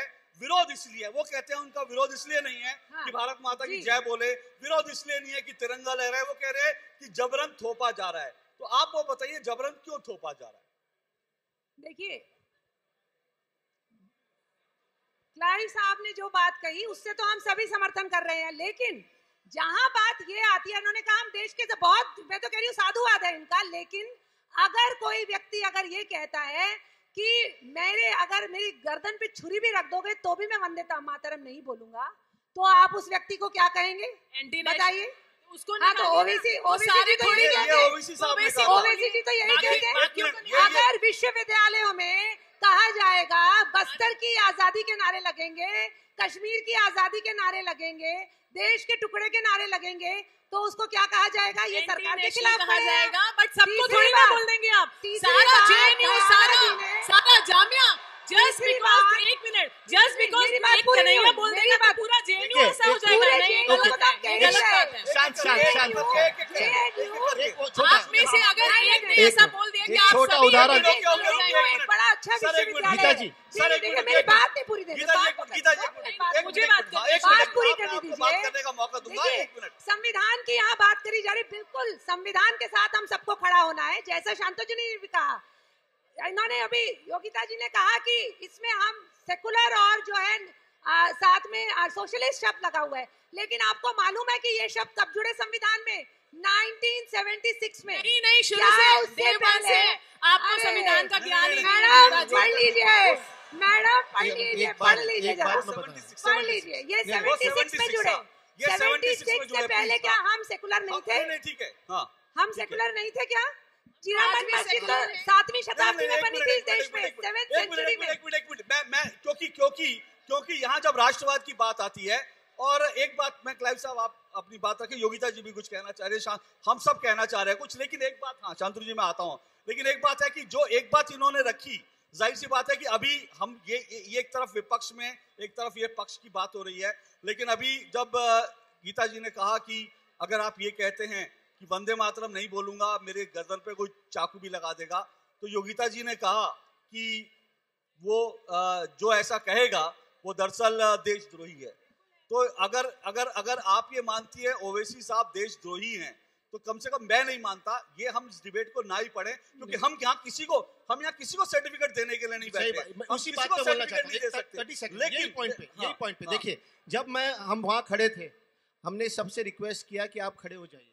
यहाँ कुछ चुन, गिने चुने बच्चे थे जो बैठे थे। क्या वो मुझे कोई हक नहीं बनता उसे एंटी नेशनल बोलना। उस वो नहीं खड़ा हुआ या नहीं खड़ी हुई उसकी चॉइस है। ये फ्रीडम चाहिए हमें देश में कि अगर मैं चाहूँ तो खड़ा रहूँ मैं चाहूँ तो नहीं खड़ा रहूँ। ठीक है ये चॉइस चाहिए हमें हमारे देश में, जो चॉइस नहीं दिया एक जा रहा। मिनट। ओके। मेरे हाँ, ख्याल से तो सारे खड़े थे। हाँ यहाँ पे तो हाँ अशोक जी अशोक जी। नहीं सारे खड़े नहीं थे मेरे भाई। बैठे थे अगर एक उनकी- मिनट, एक मिनट, इच्छा। भाई साहब, एक उनकी इच्छा। क्लाइव साहब एक मिनट एक मिनट से एक खड़े मिनट थे। रुकिए सुनिए ऐसे। बनाए जाते हैं नैरेटिव विषय विषय ये नहीं है। एक मिनट नैरेटिव आप बनाते हैं यहाँ पर मैं बताता हूँ। वो लाइन में बच्चे जो थे वो बैठे थे। आपका कोई हक नहीं बनता कि नैरेटिव उनसे कहना। आप सब राष्ट्रवाद हो आप सब राष्ट्रवाद। हो। किसी को भी इन्होंने चिन्हित करना भी शुरू कर दिया। आप कौन इनके वोटर हैं कौन नहीं है? मत सेट करिए। उन बेचारे बच्चे की गलती नहीं है। वो अपना हक पाल रहे थे। किसी को भी उनकी मर्ज़ी है। किसी को भी ये हक है वो बैठे खड़ा हो वो सवाल है. वो किसी को भी हक है लेकिन इस देश में ये हक किसी को नहीं है कहे कि भारत तेरे टुकड़े होंगे इंशाअल्लाह agree. ये कहने का किसी को नहीं है। इस देश में इस देश में कश्मीर की आज़ादी के लिए बात करना ये हक किसी को नहीं है। शांतनु साहब अपनी बात रखिए लेकिन जी शांतनु साहब तकलीफ़ शायद ये है तकलीफ़ शायद ये है जो वो कह रहे हैं कि सेकुलरवाद की जो डिबेट है ये किस दिशा में जा रही है हम तो कहते हैं देश पूरा सेकुलर है। सेकुलरवाद शब्द कब डला कब नहीं डला इससे छोड़ करके वी आर सेकुलर हम सेकुलर देश हैं। फिर डिबेट क्यों? अशोक जी क्लाइव जी ने बिल्कुल ठीक कहा सरकार का विरोध देश का विरोध नहीं है। सीए का विरोध हो रहा है कैंपसेस में। कुछ कैंपस कुछ कैंपसेस में हो रहा है पहले। ये भी पता है आपको 800 यूनिवर्सिटी है, चालीस हज़ार कॉलेज है। चार कॉलेज में हो रहा है, कह रहे सारे कॉलेज में हो रहा है, ऐसा नहीं है। देखिए, जब वो जब वो सीए का विरोध हो रहा है, सरकार का विरोध करे, बिल्कुल ठीक है, लेकिन वहाँ नारे क्या लग रहे हैं? मैं आपको बताता हूँ गिन गिन के छह नारे बताता हूँ। आप बताइएगा, इसमें सीए का विरोध क्या है? फ्री कश्मीर का पोस्टर लगा। जब उस महिला से पूछा गया, उसने कहा मतलब free free Kashmir internet free कर दीजिए। अभी तीन तीन इंच का पोस्टर और लगाए थे लिख देते उसको। आपको पता है फ्री कश्मीर का भारत में क्या मतलब होता है? फ्री कश्मीर के पोस्टर हमने देखे हैं सालों से। उसी फ्री कश्मीर के नाम से कितने सारे पंडितों को भगाया गया। थोड़ी सी थोड़ी सी हाँ, तीन मिनट एक- मिनट की बात है। तो जब सीए सीए का आंदोलन चल रहा है उसमें फ्री कश्मीर के जब नारे लगते हैं तब मुझे कंफ्यूजन होता है कि ये सरकार के विरुद्ध है या देश के विरुद्ध है। जब जब शाहीन बाग में सीए के सीए का विरोध चल रहा है और कहते हैं हमें चाहिए जिन्ना वाली आज़ादी। अब जिन्ना वाली आज़ादी कौन सी है? जब वहाँ पे स्वास्तिक को टेढ़ा मेढ़ा करके बनाया जाता है। और फिर कोई कहता है कि नहीं ये तो हिटलर का है कोई कहता है ये तो ये तो चुनाव का चिन्ह था उसमें कंफ्यूजन क्रिएट करा था। यहाँ यहाँ पे दिक्कत है। It's all done by students ना? ये सब स्टूडेंट्स कर रहे हैं राइट स्टूडेंट भी हैं लोग भी हैं। नहीं मतलब स्टूडेंट शाहीन बाग में स्टूडेंट नहीं नहीं है। नहीं नहीं सुनिए सुनिए सुनिए। योगिता एक मुझे मिनट, मुझे दो let तीन उदाहरण. तीन उदाहरण और देने दीजिए और और शाहीन बाग में स्टूडेंट नहीं है। शाहीन बाग में Let him finish, student let नहीं him है तो है आईटी आईटी कानपुर में कहा जाता है सारे बुत हटाए जाएँगे बस अल्लाह का नाम रहेगा। तेरा मेरा रिश्ता क्या? ला और हमको पता है ये वॉर क्राइज है। सारी ये सारे एग्जैक्ट ये नारे 1989 1990 1991 में कश्मीर वैली में लगाए गए थे। सारे सारे सारे वॉर क्राइज है। इसका क्या मतलब है इसका? इस, इसका शाहीन बाग से क्या मतलब है? आपको पता है आज़ादी के नारे कब शुरू हुए? आज़ादी के नारे भी कश्मीर से शुरू हुए। बस उसको थोड़ा मफल करने के लिए उसमें भुखमरी ऐड कर दिया जिससे हम सुनने में अच्छे लगे। आज़ादी के नारे कश्मीर की आज़ादी के लगे तब से भारत में आज़ादी के नारे लगने शुरू अशोक मेरा मेरा दीजिए। मेरा कंप्लेंट है आप सरकार से विरोध है। एक मिनट एक मिनट आप सरकार का विरोध करें नरेंद्र मोदी का विरोध करें लेकिन सरकार के विरोधी बनते बनते नरेंद्र मोदी के विरोधी विरोधी बनते आप पाकिस्तान के सरपरस्त हो गए और देश के विरोधी हो गए इससे मुझे नरेंद्र मोदी नरेंद्र मोदी जी हमारे माननीय प्रधानमंत्री जी हैं उनको मन की बात करने का बड़ा शौक है उनको बोलने का है थोड़ा शौक तो है सब जानते हैं। पर जब ऐसे मुद्दे आते हैं जब यूथ को कंफ्यूजन होता है या जब थोड़ा सा वो डेविएट भी हो रहे हैं मान लिया अगर हो रहे हैं तो आकर वो क्यों नहीं एक लाइन में बोल देते हैं। कि बिलीव मी मैं आपको भगाना नहीं चाहता हूँ इस देश में रखना चाहता हूँ। वो बहुत बार क्यों नहीं बहुत रखते बार हैं? कई मंचों से बोल दिया गया है। क्यों नहीं देते हैं? कई मंचों से बोल दिया गया है। हमें। अशोक जी कंफ्यूजन फैलाना कंफ्यूजन फैलाना सच फैलाने से हर समय आसान अच्छा। अरे बोलने दीजिए इतना शौक है तो वहाँ पर एक स्टूडेंट्स को एक कॉन्फिडेंस दीजिए कि बच्चे आप आप सल- गलत समझ रहे हैं। मेरा जो ये था ये कहने का मतलब नहीं था। अमित शाह ही बोल दें आकर। आप टीवी के अंदर तो बोल देते हैं पर बाहर जाकर एक बार जाइए जामिया। जाए अमित शाह जामिया। जाए मोदी जी जामिया। क्यों नहीं जाते? हैं ओके ओके ओके ठीक है। अशोक लेकिन हाँ एक मिनट आप अपनी बात कहें एक मिनट। एक मिनट। सर एक मिनट हाँ। हम अपनी बात कहें लेकिन क्योंकि हमारा ये संवाद का है तो मैं चाह रहा हूँ जो सवाल उठ रहे हैं उनका जेनुअनली जो दूसरे लोग का हाँ। सवाल का जवाब देने की उसको एड्रेस करने की कोशिश करें। जो एक सवाल उन्होंने उठाया जो नारों को लेकर उनको उसी पे मैं हाँ, उसी पर, हाँ, मुझे उसी पर मुझे मुझे एक मिनट आप जरा थोड़ा सा शांत होकर एक रिक्वेस्ट है मेरा सुन लीजिए। मैं एक्चुअली शांतनु जी ने बात कही ना मैं उनको बहुत बहुत शुक्रिया अदा करना चाहता हूँ और मैं बहुत खुश हूँ कि उन्होंने ये बात की। उन्होंने क्या कहा? आपने ध्यान से सुना होगा अगर नहीं सुना है तो सुनो। उन्होंने क्या कहा कि अगर फ्री कश्मीर का पोस्टर होता है तो कन्फ्यूज़न होता है। अगर जिन्ना वाली जो भी आपने बोला जिन्ना तो- मैंने नहीं बोला वहाँ पे शाहीन बाग में लोगों ने बोला। अभी आपने जो बोला। मुझे नहीं चाहिए जिन्ना वाली आज़ादी आपको चाहिए होगी। आपने जो फ़ोटो आप तो पर्सनल ना जाइए नहीं तो मैं मैं आपकी ये पर्सनल मत मैंने नहीं बोला जिन्ना वाली आज़ादी आपके आपके मित्र जो चाहिए? शाहीन बाग में बैठे उन्होंने बोला। कोई मित्र नहीं है सुनो सुनो अभी। आप अगर इस तरह की बात करना चाहते तो मुझे बात करना है। मुझे दो बार तो आप मॉडरेट करें अशोक जी। व्यक्तिगत बात ना करें। व्यक्तिगत बात ना करें। मैं फिनिश करने दो मैं थैंक यू यू बोलना चाहता हूँ ये शांतनु गुप्ता को। व्यक्तिगत बात ना करें। सिर्फ़ एक मिनट रुकिए, हाँ। सिर्फ़ एक मिनट रुकिए शांतनु जी। व्यक्तिगत नहीं हम को, कोई भी हो। मैं अभी देख रहा था सामने से किसी महिला ने अपना सर ऐसे पकड़ा। हाँ। है ना? मैं इसीलिए कह रहा हूँ हाँ। मैं इसीलिए कह रहा हूँ क्योंकि हम इसको वही हम शुरू कर रहे हैं yes. जो हम टेलीविज़न पे करते हैं। नहीं, तो अगर हम टेलीविज़न की डिबेट तो करना चाहते हैं मैं- तो उसमें से कुछ निकल नहीं नहीं निकलेगा। तो मैं यही कहना चाहता हूँ अशोक जी सुने भी मैं रिक्वेस्ट करता हूँ हाँ, और शांतनु आपसे आप मेरे मित्र हो। हाँ, हाँ। शायद आप बोल गए ठीक है? आप मित्र हो तो आपसे तो नाराज़गी हो नहीं सकती मेरी। लेकिन आप व्यक्तिगत ना हो क्योंकि फिर क्या होता है वो व्यक्तिगत होता है अंदर का हिंदुस्तानी जाग जाता है। व्यक्तिगत नहीं। व्यक्तिगत होगा तो अंदर का हिंदुस्तानी जाग जाएगा। एनसीपी वाला जाग जाता है। नहीं नहीं हिंदुस्तानी जाग जाएगा। फिर वो हिंदुस्तानी अगर जाग जाएगा तो फिर बहुत खैर हो जाएगी। तो ठीक है सुन, सुन लीजिए बात अभी। आपने बहुत बढ़िया शब्द का इस्तेमाल किया कन्फ्यूज़न कन्फ्यूज़न कन्फ्यूज़न यही मुद्दा है। इनके दिमाग में कन्फ्यूज़न है इसलिए वो लोगों के ऊपर इल्ज़ाम लगा रहे हैं। इनके दिमाग में कन्फ्यूज़न है इसलिए लोगों ने ये नारा लगाया वो नारा लगाया। कन्फ्यूज़न तुम्हारा पहला क्लियर करिए। फ्री कश्मीर के जगह पे अपने दिमाग में फ्री ऑफ़ माइंड का पोस्टर लगाइए और फ्री माइंड से सोचिए तब जाकर आगे कंफ्यूजन निकल जाएगा। एक मिनट एक मिनट। योगिता जी योगिता जी एक मिनट रखिए। मैं ये क्योंकि ये ये गंभीर सवाल था।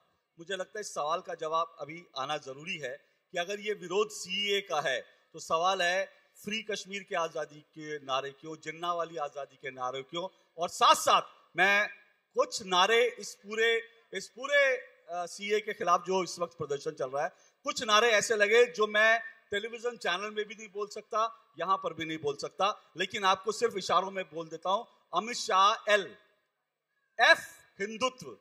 ये नारे, ये पोस्टर सीए के खिलाफ जो विरोध प्रदर्शन हुए, उसमें लगे थे। योगिता जी, ये देश के स्टूडेंट हो सकते हैं, लेकिन क्या देश के स्टूडेंट इस दिशा में आज जाएँगे कि वो एफ़ हिंदुत्व और एल अमित शाह इस तरह के नारे लगाकर अपने लिए सीए के विरोध जताएँगे? क्या ये नारे लगना, क्या ये नारे लगना, क्या आप इसको देश विरोधी मानती है कम से कम स्टूडेंट्स विरोधी तो देश विरोधी है क्योंकि ये बिल्कुल नहीं होना चाहिए जैसे कि वो संवैधानिक पोस्ट पर बैठे हैं और उनके लिए इस शब्दों का प्रयोग होना नहीं चाहिए। हालाँकि अभी तक मैंने ऐसा सुना नहीं जिन्ना की तारीफ़ दिखा सकता हूँ। अगर है मेरे पास तस्वीरें अगर अभी है तो बिल्कुल गलत है। बट हाँ फिर से मैं यही बात कहना चाहूँगी कि जहाँ इतने बड़े बड़े मुद्दे हैं प्रधानमंत्री जी खुद क्यों नहीं आकर एक बार बातचीत करते इन स्टूडेंट्स की इनके इनके दिमाग से जैसे क्लियर करते कि डाउट्स हैं जो इनके।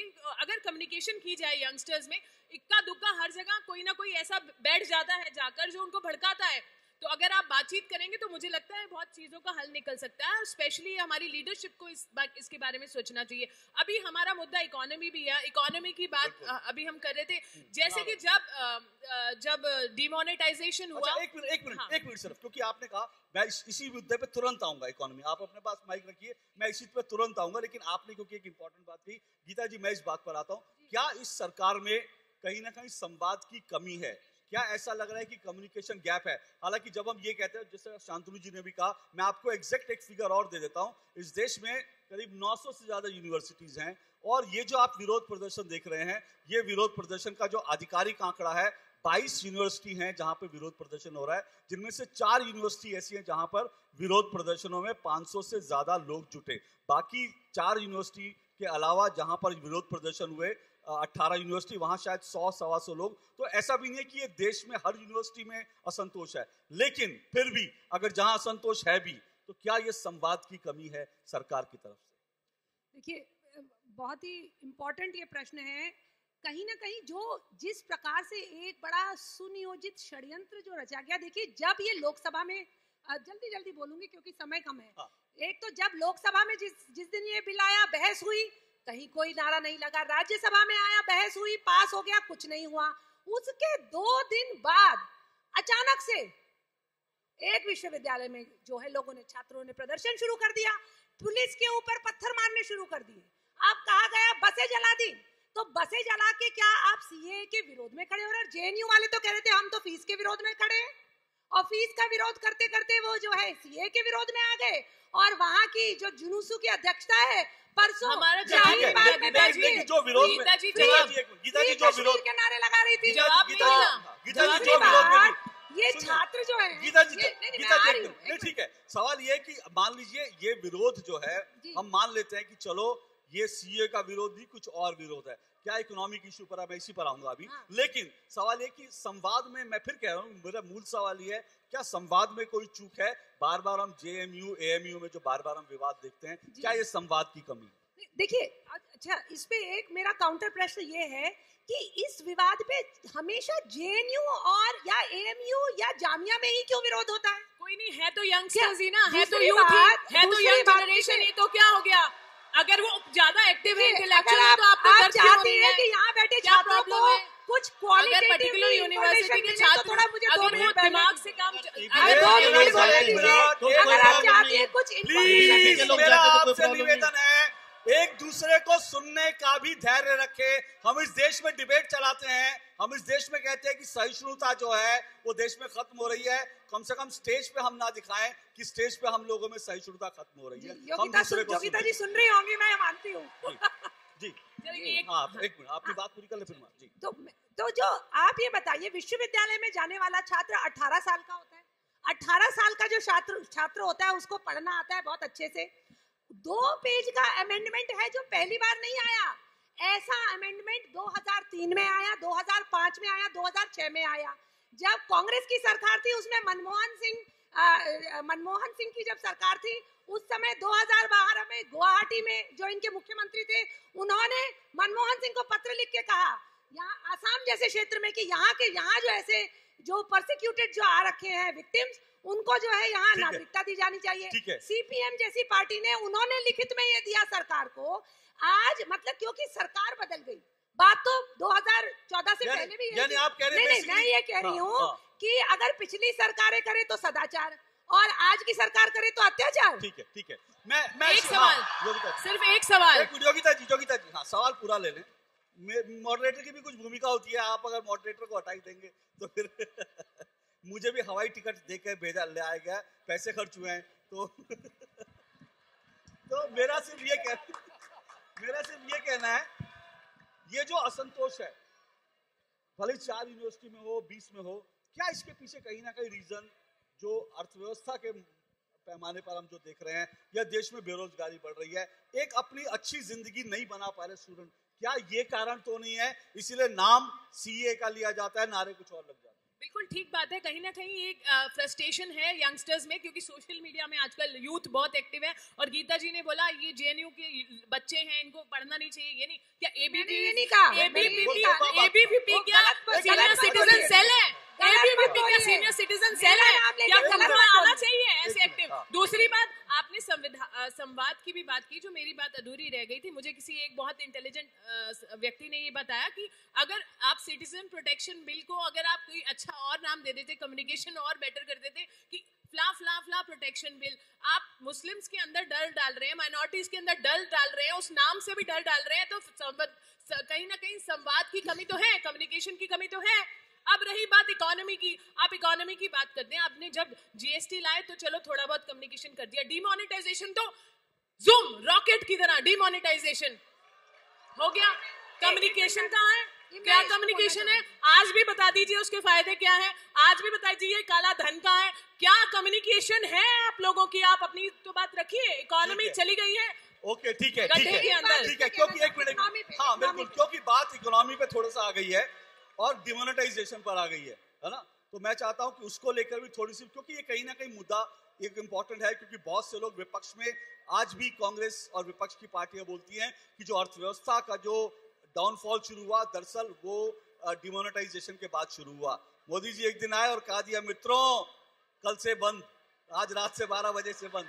और उसके बाद से जो है, पूरी तो ये आरोप लगते हैं तो गीता जी और आप दोनों अगर इस पर क्या अर्थव्यवस्था के मुद्दे। क्योंकि आपने एक देश हाँ मैं आपके पास भी आऊँगा सर एक मिनट। तो डिमोनेटाइजेशन को लेकर कि क्या ये एक फेलियर था? और इसके कारण अर्थव्यवस्था बहुत संक्षेप में जी फिर मैं आपके अशोक पास जी मैं मैं ये कहूँगी कि देखिए जब आप किसी घर में बड़ा छोटा उदाहरण दूँगी घर में रहते हैं घर की आप साफ़ सफ़ाई नहीं करिए उसकी देख रेख नहीं करिए सालों तक पेंट पॉलिश ने क्या हालत हो जाती है घर की?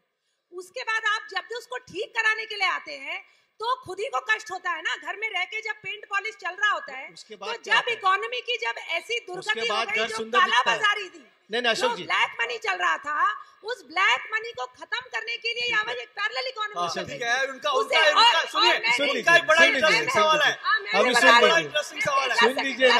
अभी अभी एक इंटीरियर डिज़ाइनर की बात सुन लीजिए। आपके लिए मैं मेरा व्यवसाय इंटीरियर डिज़ाइनिंग है। प्रश्न आपके लिए मेरा प्रश्न प्रश्न, हाँ। इन्होंने अभी इन्होंने अभी प्याज की बात की थी प्याज इतना महँगा हो गया है। अरे कांदा तो सबसे ज़्यादा महाराष्ट्र में होता है। नहीं, नहीं, तो सरकार किसकी थी? किसकी सरकार किसकी थी? किसका कब्जा है यहाँ के। डॉक्टर गीता जी आप तो इतने विद्वान हो। सरकार किसकी थी तीन महीने पहले तक महाराष्ट्र में? भाई साहब कांदे के कॉर्पोरेशन कॉर्पोरेशन पे किसका कब्जा है? महाराष्ट्र में सबको पता है। पवार साहब की राजनीति कॉर्पोरेशन की राजनीति है। कंधे की कंधे की बोरियों पे देखिए, कौन बैठा है चढ़ के? सबको पता है। कहावत है महाराष्ट्र में अगर अगर आपको फ़ेमस होना हो तो खाली शरद पवार जी कह दीजिए शरद पवार साहब के जहाँ फ़ेमस ये तो आदमी को फ़ेमस फ़ेमस होना है। अगर मैं वापस जा पाया अगर मैं वापस दिल्ली जा पाया तो फ़ेमस तो हो गया। हो गए। आप फ़ेमस हो गए। आप फ़ेमस हो गए। एक बार फिर मुद्दे पर आते हैं। साहब का नाम लिया, फ़ेमस एक बार फिर मुद्दे पर आ जाते हैं। क्लाइव साहब ने कहा जो उन्होंने कहा शांतनु जी कह रहे हैं कि अगर जो अभी गीता मैं एक इंटीरियर हाँ, डिज़ाइनर की हाँ, बात सुन लीजिए। अभी गीता जी ने मैं बाय प्रोफेशन इंटीरियर डिज़ाइनर हूँ। तो गीता जी ने क्या किया कि भाई घर के जो रंग रोगान करते हैं, सफ़ाई करते हैं तो तकलीफ़ होती है। लेकिन उसके बाद क्या होता है? घर सुंदर होता है। आज देखिए डीमोनेटाइजेशन के बाद क्या हुआ? ब्लैक मनी वापस आएगा बोले। 99.83 परसेंट ब्लैक मनी वापस बैंकों में आ गई। 15 लाख नहीं आया, आतंकवाद बंद नहीं हुआ। और आज के पेपर में है, आज के पेपर में है कि बांग्लादेश से काउंटरफिट नोट आए जो इंडिया बंद करने वाले थे। तो घर घर में तकलीफ़ हुई साफ़ सफ़ाई हुई लेकिन घर सुंदर तो हुआ ही नहीं। ओके। शांतनु जी घर तो सुंदर नहीं हुआ वो कह रहे हैं तो उसका फ़ायदा क्या हुआ? उल्टा ही दिशा हुआ। एक मिनट एक मिनट एक मिनट सर एक मिनट। हाँ बोलिए शांतनु जी। हाँ। देखिए जैसा मैंने अपने पहले वक्तव्य में कहा था कि 2014 के बाद से और 2019 के बाद से और ज़्यादा देश से एंगेजमेंट के और इकोनॉमी के एंगेजमेंट के रूल चेंज हो रहे हैं। जब 70 साल पुरानी व्यवस्थाओं को आप बदलेंगे तो समय लगेगा। 1991 में जब जब आपको पता है मज़ेदार बात है जब 1991 में रिफॉर्म आए सबसे बड़ा विरोध किसने करा? जो अपने बड़े पूंजीपति थे क्योंकि वो नहीं चाहते थे नया लड़का बिज़नेस में आए वो नहीं चाहते थे लड़के बिज़नेस में आए। वो चाहते थे कि मैं अब जम गया हूँ सरकार के साथ तो अब जब नई सिस्टम आ रही है राहुल बजाज ने खुद कहा है कि अफ्रीका की राहुल बजाज मुझे लगता नहीं हम में से किसी को ऑटो मार्केट उतना पता होगा जितना राहुल बजाज को पता है। राहुल बजाज ने राहुल बजाज ने कहा है कि हालत खराब है देश में लोगों की।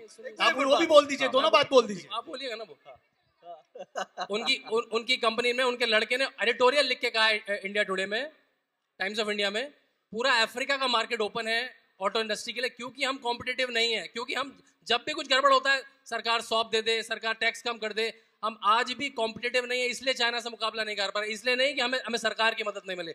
सरकार ने तो कॉर्पोरेट टैक्स कम करना था कर दिया। अशोक जी क्योंकि क्यों क्योंकि गेम के एंगेजमेंट के रूल चेंज हो गए हैं व्हाइट मनी हो गई है पहले घर खरीदने जाते थे बोलते थे व्हाइट में कितना ब्लैक में कितना। ठीक क्योंकि अब सिस्टम चेंज हो रहा है अब नए सिस्टम आ रहे हैं व्हाइट इकोनॉमी आ रही है एनपीआर फ़ोन कॉल से लोन नहीं मिलते हैं। अब लोन आपकी वर्थ हो तब तब मिलती है। अब शरद पवार जी कहने से लोन नहीं मिलते हैं। अगर आपकी वर्थ होगी तो लोन मिलेगा। इसलिए दिक्कत है इनको। नहीं नहीं Okay. तो नहीं नहीं तो आप व्यक्तिगत बात करिए और सोच समझ के बात करिए ना। सोच हाँ, समझ सोच के। समझ के बात करिए। यही यही इनका है। अगर इनको कुछ पता नहीं चलता है ना तो इधर उधर की बात करते हैं। इन्हें फ़ेमस होना है तो आदरणीय पवार साहब का नाम लेते हैं तो फ़ेमस हो जाते हैं। इनको फ़ेमस होना है फ्री में फ़ेमस होना है तो आदरणीय पवार क्यों क्यों फ़ेमस होते हैं? क्यों वो आदरणीय पवार साहब का व्यक्तिमत्व तो इतना बड़ा है कि उनके अपने अच्छा, जबान से शब्द मिलेगा तो फ़ेमस हो जाते है पवार साहब- का गुणगान हम किसी और दिन कर लेंगे। नहीं क्यों हम तो रोज करेंगे। आपके कहने से बंद नहीं करेंगे उसको वो छोड़िए इकोनॉमी पे बात करिए और नेशनलिज्म पे बात एक मिनट, साहब, करिए क्योंकि आपने पवार साहब को ले आए। मैं चाहता नहीं था कि हम महाराष्ट्र की राजनीति में आए लेकिन एक सवाल आपसे भी वो सवाल ये है कि जिस वक्त शिवसेना के साथ सरकार बनाने के लिए आप लोग पिंगे बढ़ा रहे थे ये चल रहा था नई दोस्ती चल रही थी जो दोस्ती हमने देखी नहीं थी। मैं एक आंकड़ा सिर्फ़ दे रहा हूँ, वो राजस्व विभाग का आंकड़ा है, महाराष्ट्र के राजस्व विभाग का। क्योंकि ये पूरी सरकार, मैं आपको सत्ता का चरित्र बता रहा हूँ। चाहे पवार साहब हो या यहाँ पर जो है देवेंद्र फडणवीस साहब हो, मैं आपको सत्ता का चरित्र बता रहा हूँ। आप सबने सुना होगा कि इस देश में कितने, महाराष्ट्र में कितने किसानों ने आत्महत्या, देवेंद्र फडणवीस से उनके मुख्यमंत्री काल में कितने किसानों की आत्महत्या हुई थी। जब आपकी पवार साहब और उद्धव ठाकरे साहब की जब बातचीत चल रही थी कि हम सरकार कैसे बनाए, कैसे नहीं बनाए, उस बीच, उस बातचीत के अंदर, क्योंकि ये पूरी सरकार जो बनी, वो किसानों का नाम लेकर बनी, और जब तक आप लोग बातचीत कर रहे थे, और बातचीत के आपने लिए जो दो हफ़्ते बिताए, उन दो हफ्तों में राजस्व विभाग का आंकड़ा ये कहता है कि महाराष्ट्र में 300 किसानों की और आत्महत्याएँ हो गई। सवाल ये कि आप कैसे किसानों की बात कर सकते हैं आप कैसे कह रहे हैं पवार साहब सकते हैं, नहीं नहीं नहीं कर सकते? मेरा मेरा मेरा तो- मेरा- तो ये मेरा लाया किसने? मेरा पूरा ये लीजिए। लाया किसने? बाबा, मेरा पूरा सवाल हाँ। ले लीजिए मैं सिर्फ़ ये कह रहा हूँ मैं ही नहीं कह रहा मैं कह रहा हूँ आप किसानों के नाम पर सरकार बना रहे थे तो आपने 300 किसानों को सिर्फ़ बातचीत करने में आत्महत्या करने फिर आप कहते हैं नहीं तो की नहीं नहीं देखिए ये सरकार हम पूरे महाराष्ट्र के हर इंसान किसान से लेके हर व्यक्ति के लिए हम सरकार बना रहे थे। लेकिन इन लोगों ने जो षड्यंत्र रचा जो इतना समय निकाला तो कुछ करने के लिए तो थोड़ा तो वक्त जाएगा ना। तो गलती किसकी है वो तो बात करिए ना। कुछ करने के लिए सिर्फ़ एक मतलब तरफ़ के ये नहीं किसका एमएलए इधर लाए किसका एमएलए उधर लाए? मैं आप- सिर्फ- नहीं वो तो काम आपका है भाई वो हमारा काम नहीं वो आप उसमें आपका। कॉपीराइटर आप- में मास्टरी है सर, एक मिनट, क्योंकि- आप मास्टरी आपने दिखा दिया बैंगलोर में आप मास्टरी एक दिखा रहे थे यहाँ पर लेकिन आप नहीं सक्सेस नहीं हुए यहाँ पर। मैं कह रहा हूँ आपने बहुत कोशिश की यहाँ पर लेकिन आपको सक्सेस नहीं मिला। पर्सनल हम ना जाए आपने खुद ही कहा मैं इनको भी रोकूँगा पर्सनल ना जाए आपको भी रोकूँगा। उन्हें सवाल किया इसलिए जवाब दे रहा हूँ हाँ, ठीक है ठीक है जवाब आप दीजिए। जवाब मुद्दों पे दीजिए क्योंकि आपने कहा फ़ेमस होने वो जो बता रहे तो उसी की बात कर रहा एक भाई। एक मिनट, उनसे कहिए बंद करे तो मैं भी बंद करूँगा जवाब देना। अच्छा ठीक है शांतनु जी पर्सनल कोई नहीं करेगा पर आपने एक बात कही मैं उसका थोड़ा सा आप मेरा मेरा एक एक ऑब्जर्वेशन मेरा अशोक जी रिक्वेस्ट है नेशनलिज्म और इकोनॉमी की बात छूटकर अब कहीं हाँ, और और चल रही हूँ, बातें हूँ वो नहीं होना चाहिए लेकिन मैं लेकिन मैं सिर्फ़ एक ऑब्जर्वेशन मेरा। बाकी ये विषय से नहीं क्योंकि आपने कहा फ़ेमस होने के लिए पवार साहब का नाम ले लेते हैं। आजकल फ़ेमस होने का एक तरीका और है वो जो है वो तरीका नवाब मलिक साहब के जो भाई है उन्होंने भी दिखाया एक फ़ेमस होने का तरीका ये भी है। खंडन किया ना हमने। मलिक साहब। नवाब मलिक साहब खुद ने खंडन किया हम भी खंडन करते हैं। ठीक है मैंने मेरा ऑब्जर्वेशन था तो- वो उनका वीडियो आया बड़े नहीं, तो फ़ेमस हो हूँ। मैं मैं मैं मैं नहीं जानता अच्छा, सुन भाई लीजिए, है लेकिन सुन लीजिए। नहीं, नहीं, तो सुन लीजिए। अब हम विषय पर आ ये जवाब दे दूँ मैं? आप जवाब दे दीजिए जवाब दे विषय पर आ जाओ। देखिए कानून कोई भी हो अगर हाथ में लेता है तो वो गलत है उसको सजा होनी चाहिए। लेकिन अगर आप एक इंसान की बात कर रहे हैं तो आप यहीं पे बोलता हूँ इसी छात्रों के सामने दूसरा और एक घंटे का भी इसी के बाद सेशन रखे फिर मैं नंबर और नंबर लिस्ट निकालता हूँ निकालता हूँ डिस्कशन लिस्ट दोनों तरफ़ की है। लेकिन वो लिस्ट दोनों हाँ, तरफ़ की है। तो मैं मैं ये कहता। हूँ कि हाँ। अगर कोई भी अगर कानून और न्याय जो अपने हाथ में ले वो गलत है उसको सजा होनी अच्छा ठीक है मेरा आप सब अब मेरा आप दोनों से एक सवाल है क्योंकि हमारा विषय ये भी है। अर्थव्यवस्था की हम बात कर रहे हैं। सवाल है कि हम ये भी कहते हैं, टेलीविज़न डिबेट में भी हम देखते हैं, डिबेट होती है, डिबेट होती है। सवाल ये कि अर्थव्यवस्था के लिए, क्योंकि हम देश की बात कर रहे हैं तो अर्थव्यवस्था सवाल ये कि अर्थव्यवस्था के लिए हमने एक तो कहा डिमोनेटाइजेशन गलत रास्ता था।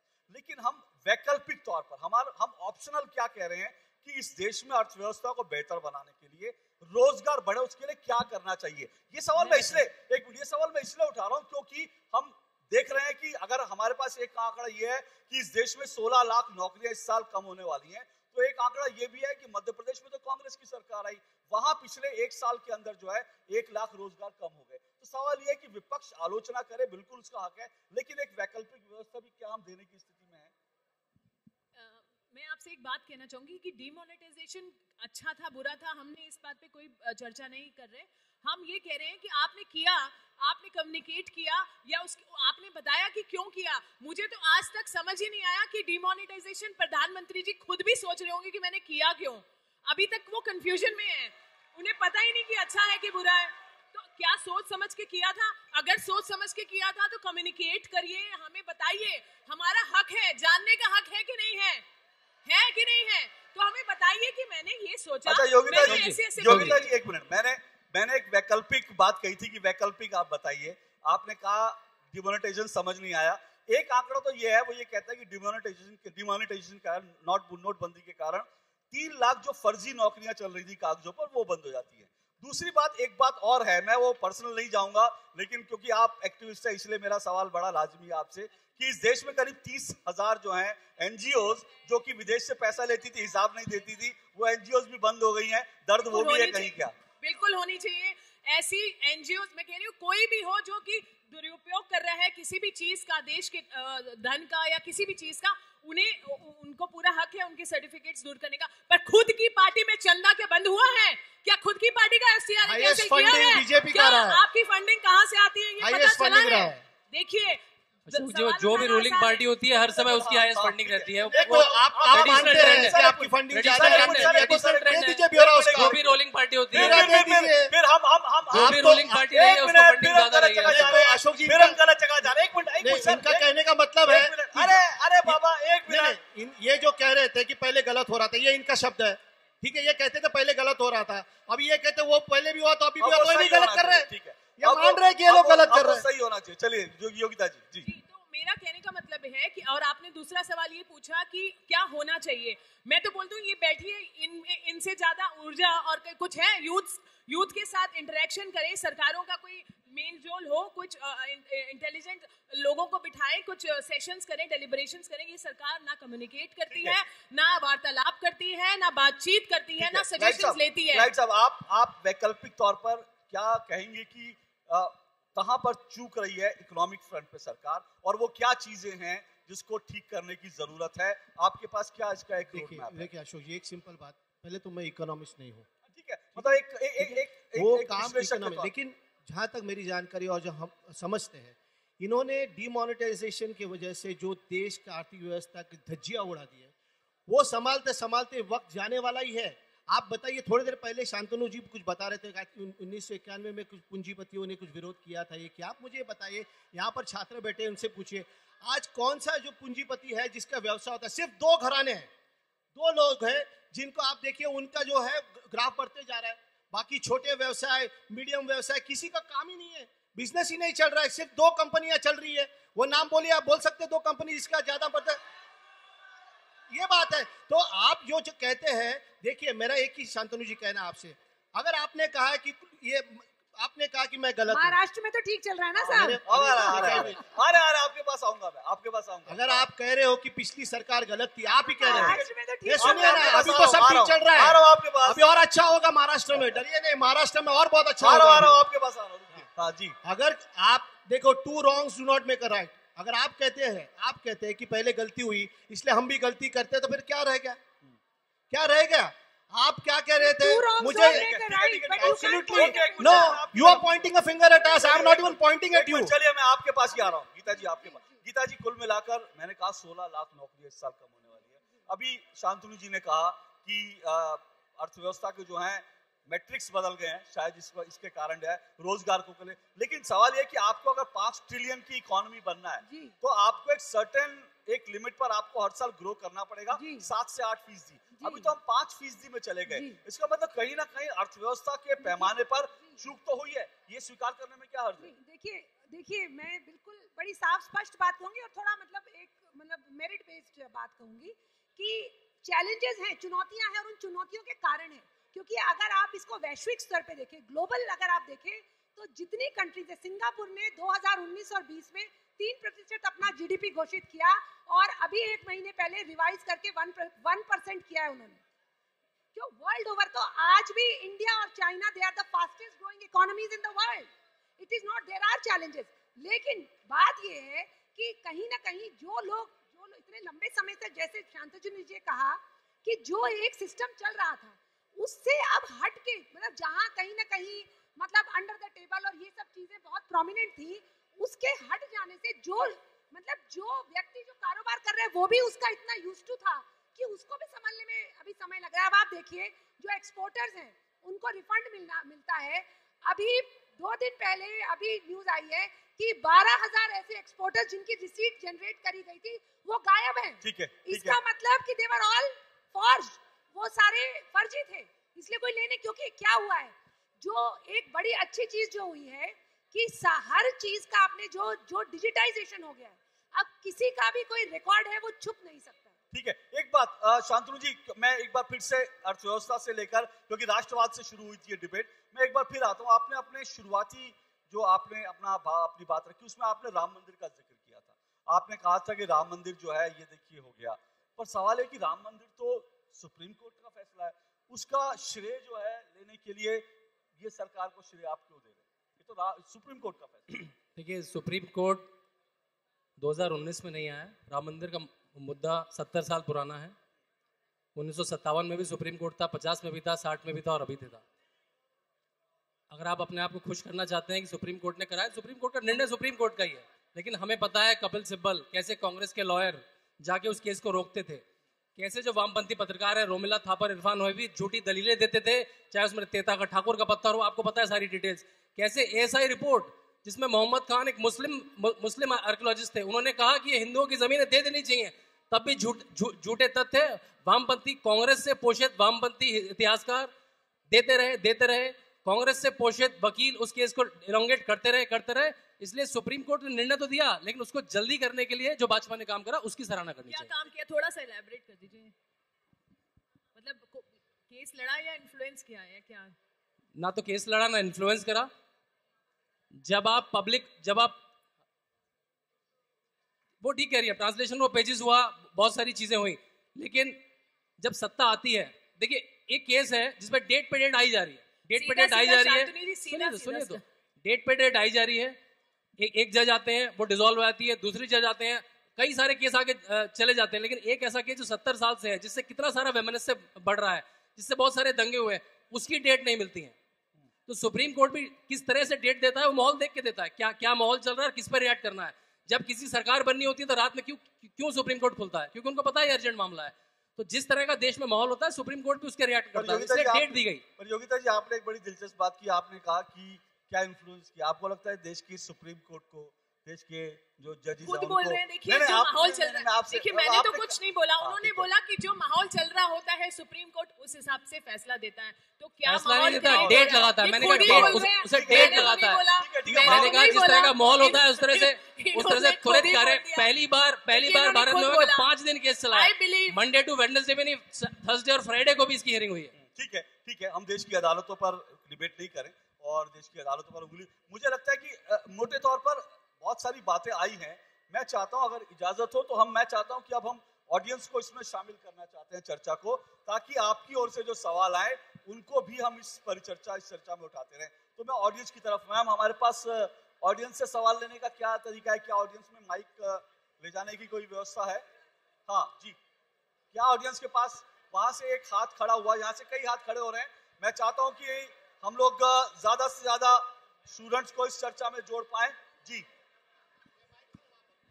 अशोक जी वहाँ माइक है। क्वेश्चन आंसर क्वेश्चन आंसर से पहले हमारे स्टूडेंट स्पीकर्स को बोलने देते हैं। नहीं नहीं नहीं आप जो स्टूडेंट होंगे वो करेंगे लेकिन एक मिनट में चाहता हूँ क्योंकि अभी जो चर्चा हुई है वो बहुत एक उत्तेजक चर्चा हुई है और बहुत सारे सवाल उसके बाद हम वो भी करते हैं लेकिन मैं दो तीन सवाल ले लेता हूँ ताकि इस चर्चा में क्योंकि क्योंकि ये विषय एक मिनट मेरी बात सुनिए सर सर मेरी बात सुनिए।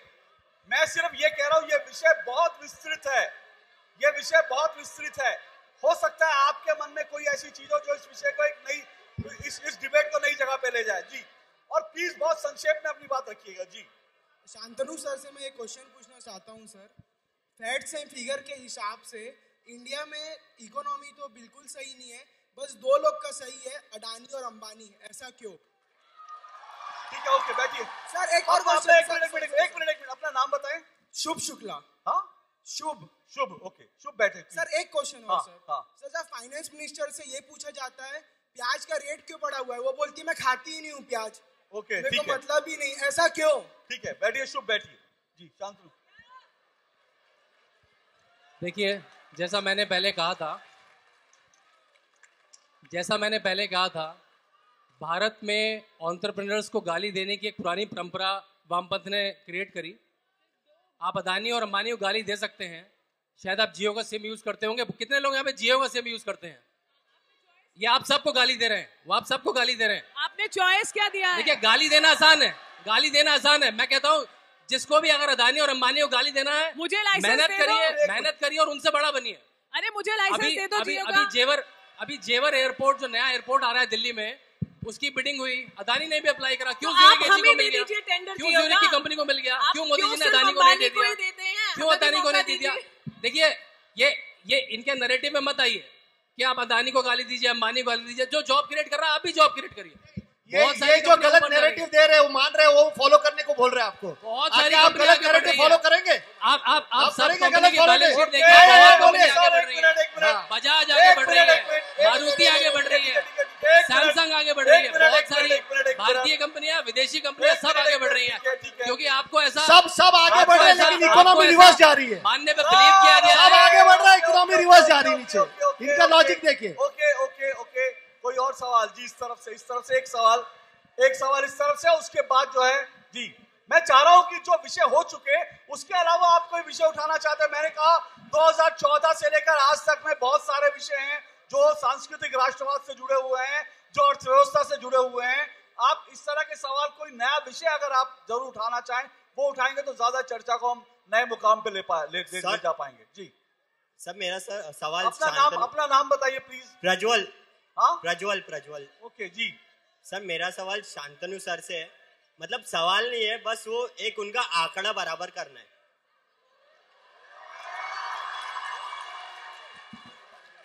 क्या क्या आपका सवाल? सवाल नहीं है बस उनका थोड़ा सा जो एक मिस्टेक था वो बराबर करना हाँ बताएँ बताएँ। सर ने जो कहा कि मूवीज़ में मुगले आज़म 1960 में बना था और फिर तानाजी जो अभी आया वो तानाजी तो बीजेपी के राज में आया और 1960 में मुगले आज़म कांग्रेस के राज में आया तो क्या कांग्रेस तब से राज राज कर रही है क्या इंडिया में? कांग्रेस सबसे राष्ट्रवादी है। हाँ।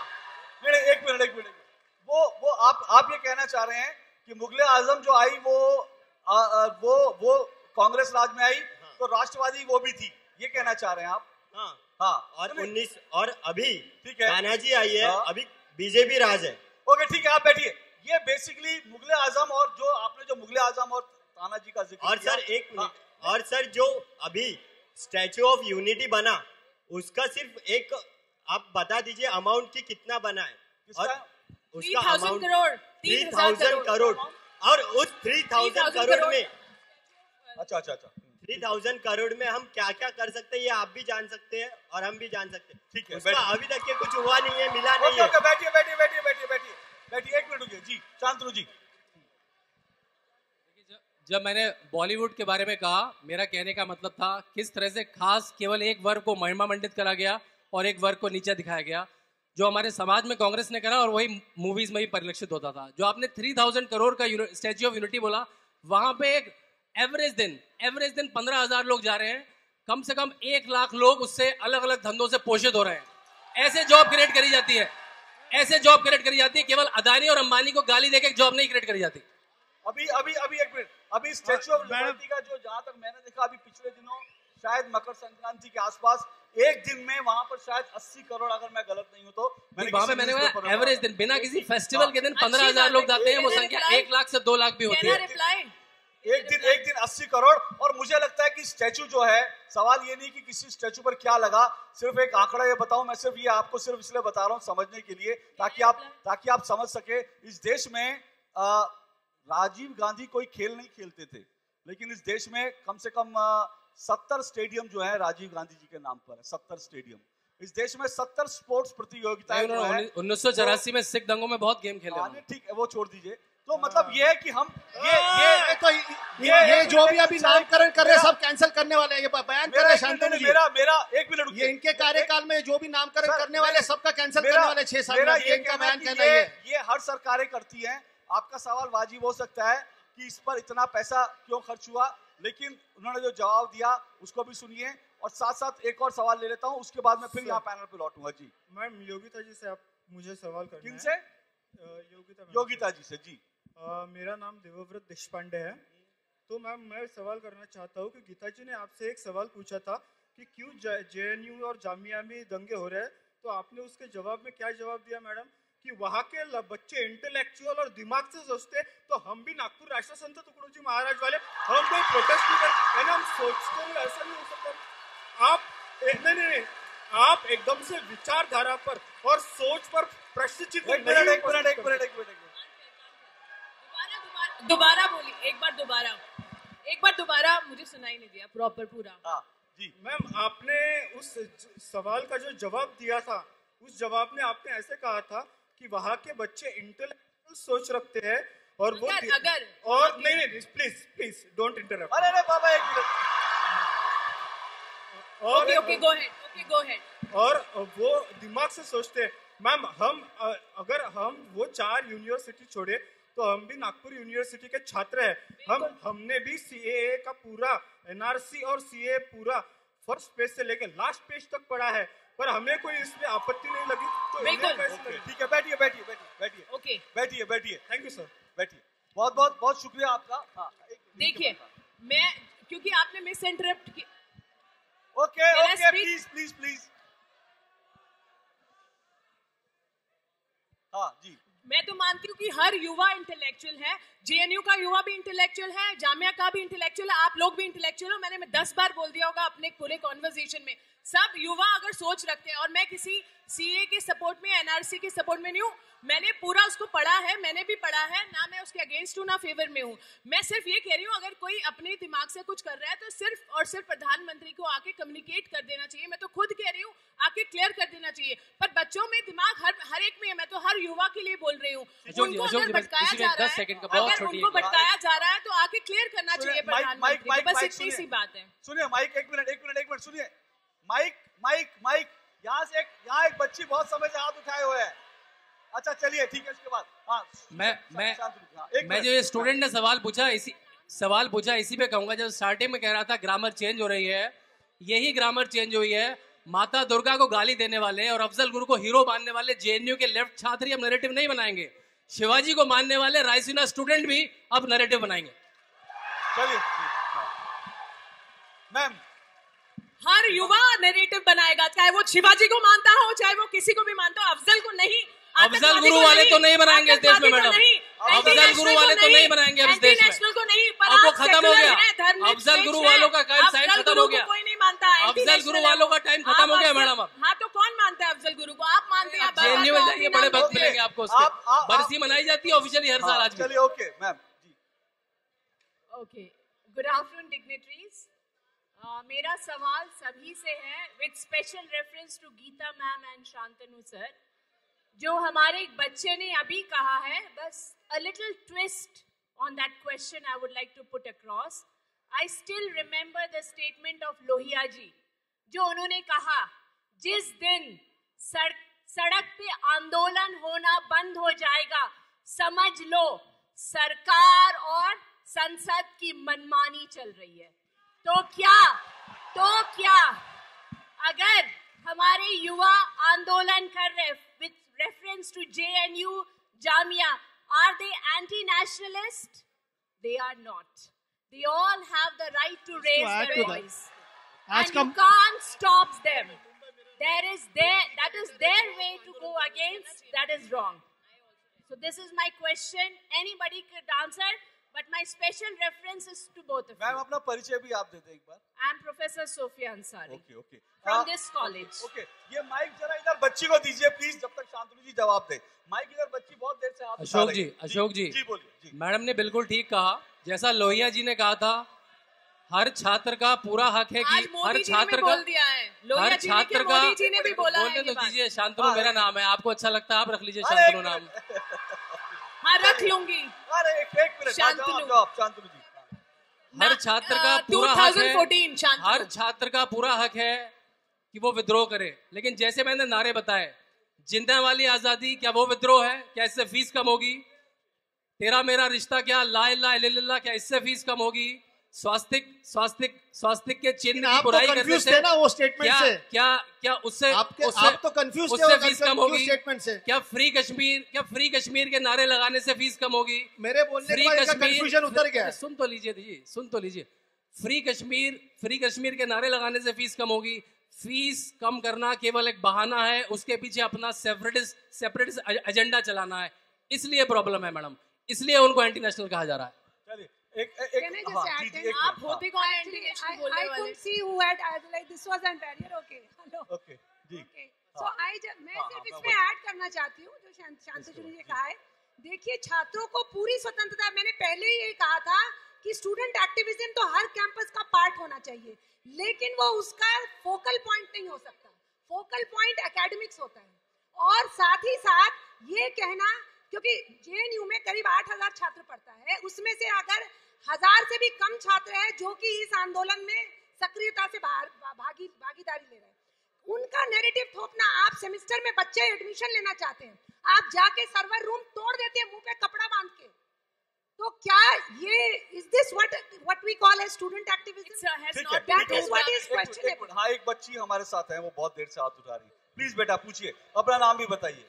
मेरा नाम दीक्षा अग्रवाल है। मेरा सवाल योगिता मैम से है। जैसे कि मैम ने कहा कि कम्युनिकेशन गैप है तो मैं उनसे पूछना चाहती हूँ आप ये कह रही है कि मोदी जी के कम्युनिकेशन गैप है तो क्या पूर्व प्रधानमंत्री मनमोहन सिंह उनका कोई कम्युनिकेशन उन्होंने कम्युनिकेट किया? उनका कम्युनिकेशन था? बिल्कुल ठीक बात है। बिल्कुल ठीक बात है। वो बोलते नहीं थे ये चुप नहीं रहते। बैठिए। भाई एक बात तो है सुनिए एक बात तो है। मैं इससे पहले योगिता जी जवाब दे मैम, आप लोगों ने बच्चे बहुत बढ़िया तैयार किए। बहुत बढ़िया तैयार एक एक सवाल जो है, एक एक सवाल, इतना तीखा सवाल है, इतना पॉइंटेड सवाल है, जोरदार तालियाँ आप अपने लिए बजा लीजिए। जी, बिल्कुल ठीक बात आपने बोली है। मैं तो कांग्रेस से नहीं हूँ मैं एक्टिविज्म तब से कर रही हूँ जब कांग्रेस सत्ता में थी। निर्भया आंदोलन कांग्रेस के अगेंस्ट मैंने किया है। सबसे पहले वाटर कैनन मैंने लिया है। लाठी भी मैंने कांग्रेस के समय में खाई है।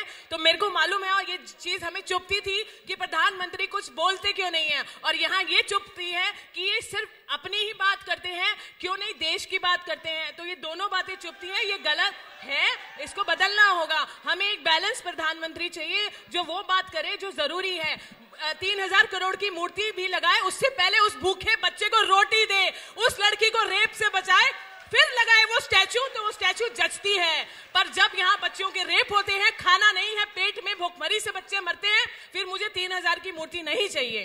आपने जो तो बात कही है हाँ नहीं आपने योगिता जी ने जो बात की वो बड़ी अ, अ, अ, मैं उससे बिल्कुल इतफाक रखता हूँ। बहुत सारा सिंबलिज्म होता है, कितना सिंबलिज्म है, मैंने इसमें डिबेट में पढ़ता। लेकिन मैं एक बात कहता हूँ, मैं सिर्फ़ आप आप लोगों के लिए कह रहा हूँ कि हम ये सवाल उठाते हैं अक्सर, और इसमें योगिता जी ने जो बात कही वो बहुत सही है।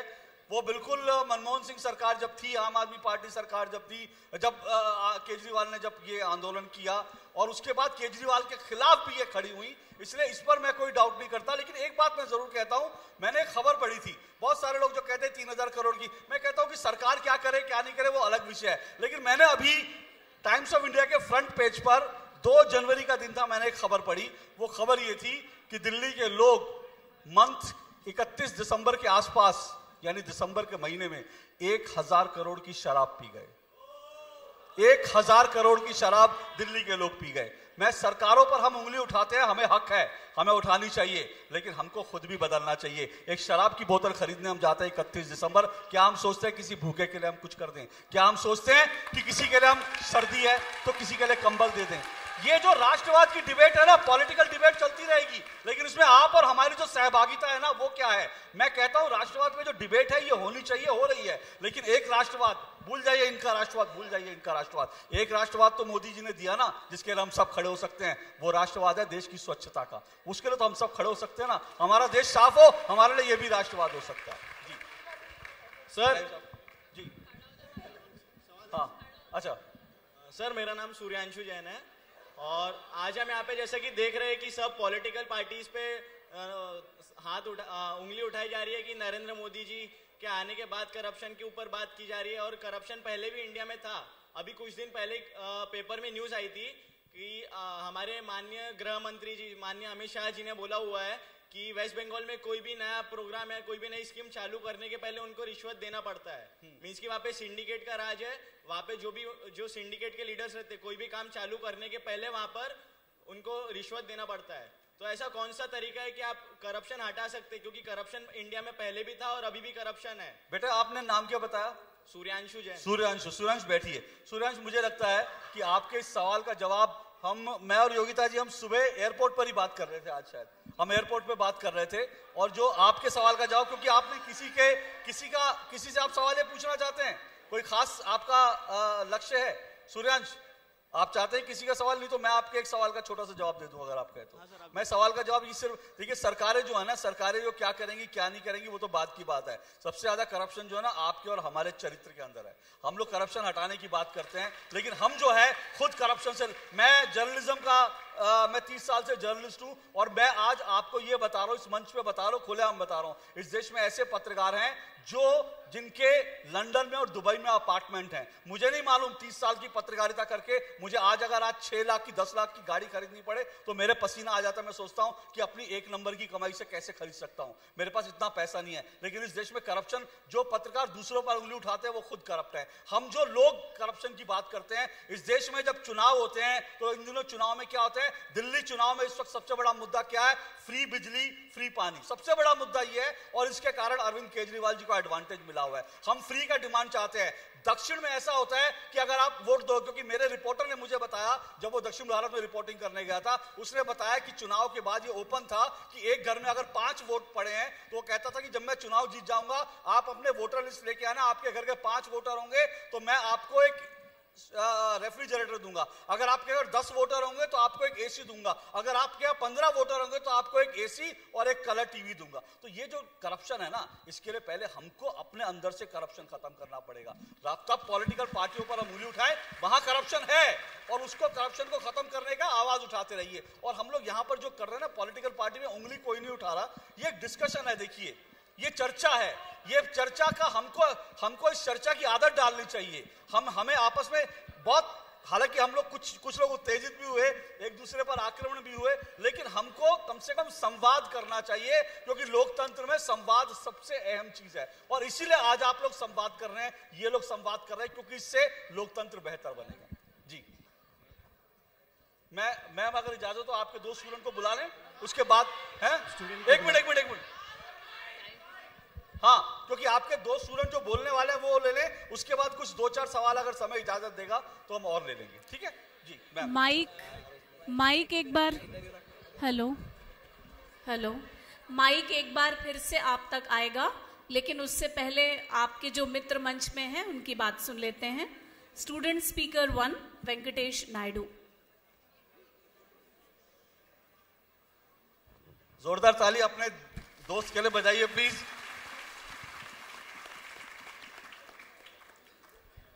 धर्म और कानून का यहाँ काला धंधा है।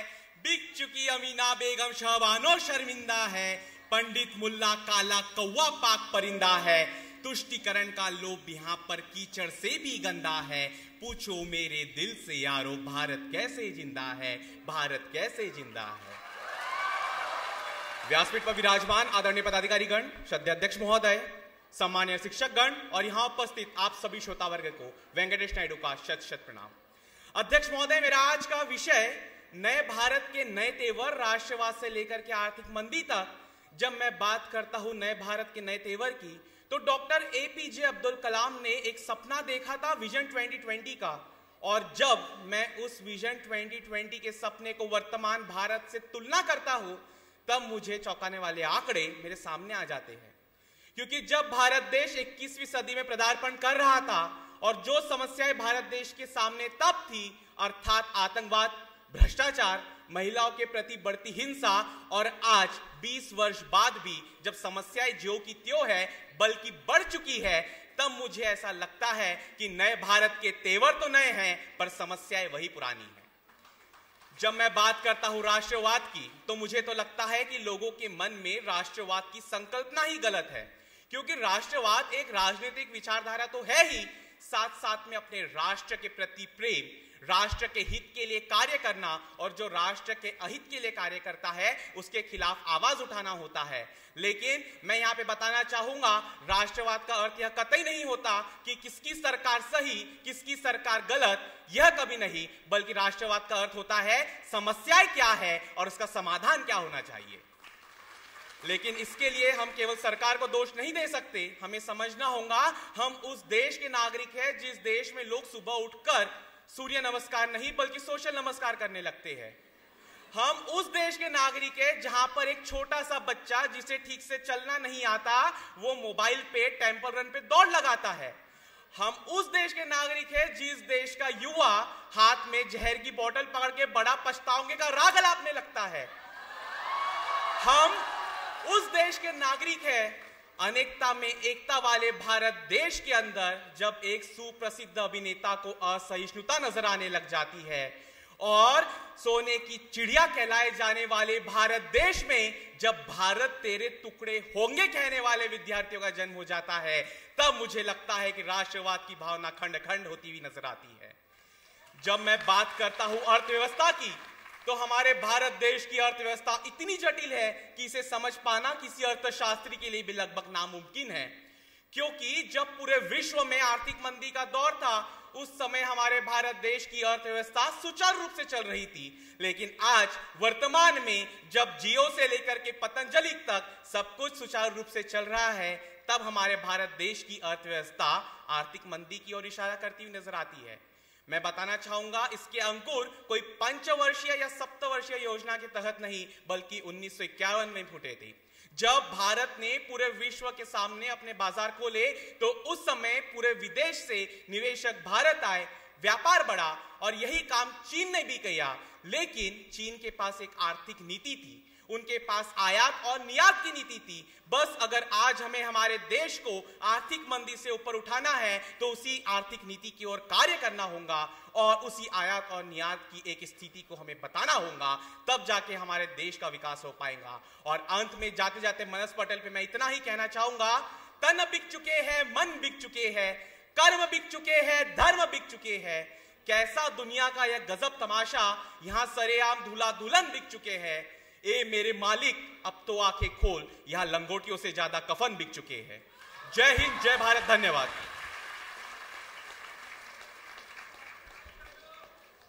व्यंकटेश के इस ओजस्वी उद्बोधन के बाद अगले विद्यार्थी वक्ता सौरभ सिंह जरियाल।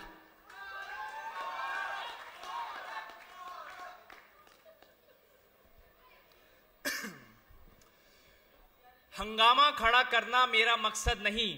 हंगामा खड़ा करना मेरा मकसद नहीं। मकसद है कि सूरत बदलनी चाहिए। मेरे दिल में ना सही, तेरे दिल में ही सही। हो कहीं भी, मगर एक आग दहकनी चाहिए, एक आग दहकनी चाहिए। आदरणीय अतिथिगण, माननीय अध्यापकगण, एवं मेरे प्यारे सहपाठियों को मेरा यानी सौरभ सिंह जरियाल का विनम्र अभिवादन। मैं आज यहाँ आप सभी के समक्ष प्रस्तुत हूँ एक बहुत ही महत्वपूर्ण विषय पर अपने विचार व्यक्त करने के लिए। जिसका नाम है नए भारत के नए तेवर, राष्ट्रवाद से लेकर आर्थिक मंदी तक। आज मैं आप सभी के सामने एक प्रश्न रखता हूँ। क्या सचमुच हमारे भारत के तेवर बदले हैं? मैं आप सभी से यह सवाल इसलिए कर रहा हूँ क्योंकि निर्भया के वो आरोपी आज भी निर्भय हैं, आज भी प्रियंका रेड्डी के आरोपी। नहीं। आज भी प्रियंका रेड्डी के आरोपियों को सजा तब मिलती है जब वो पहली 18 लड़कियों को ज़िंदा जला चुके होते हैं। जब वो उन 18 लड़कियों को ज़िंदा जला चुके हैं। क्यों हम आँख मूंदे खड़े हैं? क्या यही है वो नया भारत जिसके लिए वीरों ने स्वतंत्रता स्वतंत्रता संग्राम लड़े? क्या यही है वो भारत जिसके लिए लहूपात हुए? मैं पूछता हूँ वो राष्ट्रवाद किस काम को जो हिंदू को मुसलमान से बांटता हो, जो सिख को ईसाई से छांटता हो? ये वह भारत है जिसकी एकता की मिसाल तब देखी जाती थी जब एक कैथोलिक औरत अपनी प्रधानमंत्री की कुर्सी त्याग देती है एक सिख प्रधानमंत्री के लिए, जिसे प्रधानमंत्री पद की शपथ दिलाने वाला राष्ट्रपति एक मुसलमान होता है उस देश पर शासन करने के लिए जिसकी 80 प्रतिशत आबादी हिंदू है। इससे बढ़कर राष्ट्र, इससे बढ़कर राष्ट्रीय एकता और अखंडता कहाँ होगी मैं आप सभी से पूछता हूँ। मैं पूछता हूँ क्यों वो अन्नदाता भूखा है? जो अपना अन्न बना करके हम सबको परोसता है, पर खुद उसके घर का चूल्हा आज भी ठंडा रहता है।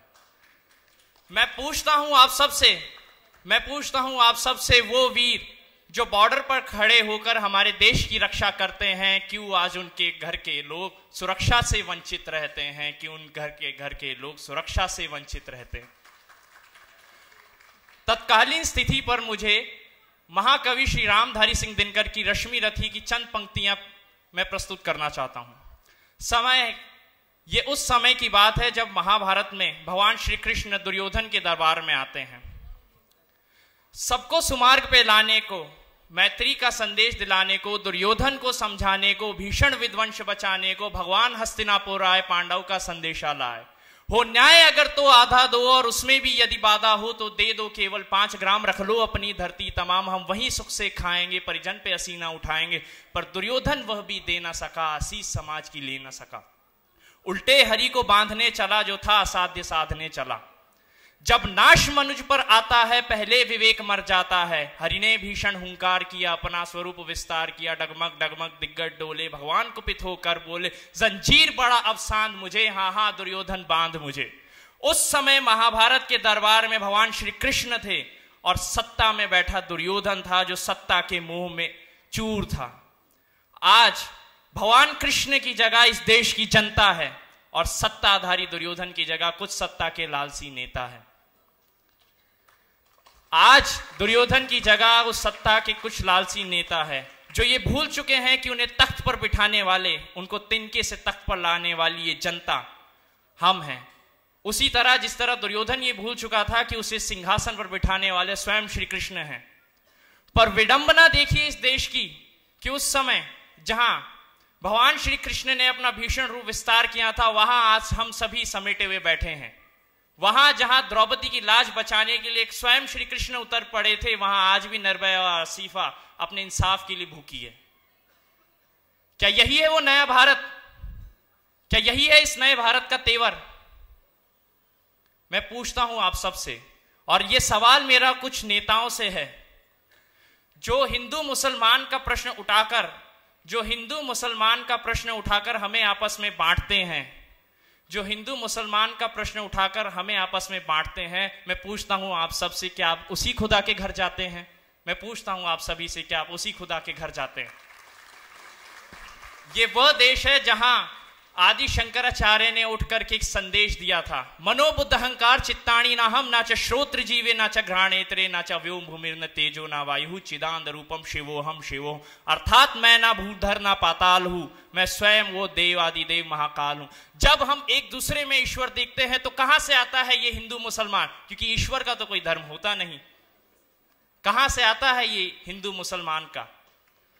अंत में मैं जाते जाते आप सभी से एक ही चीज़ कहना चाहता हूँ।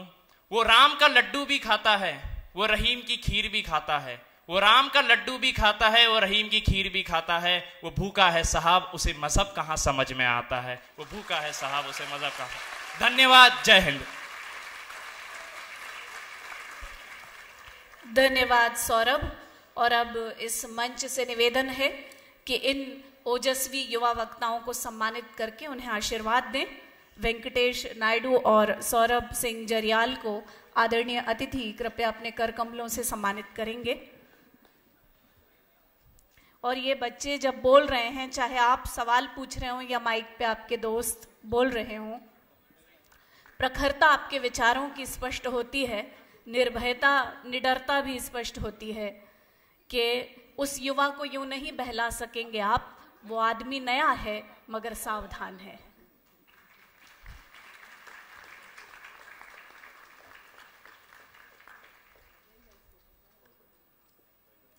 सौरभ सिंह जरियाल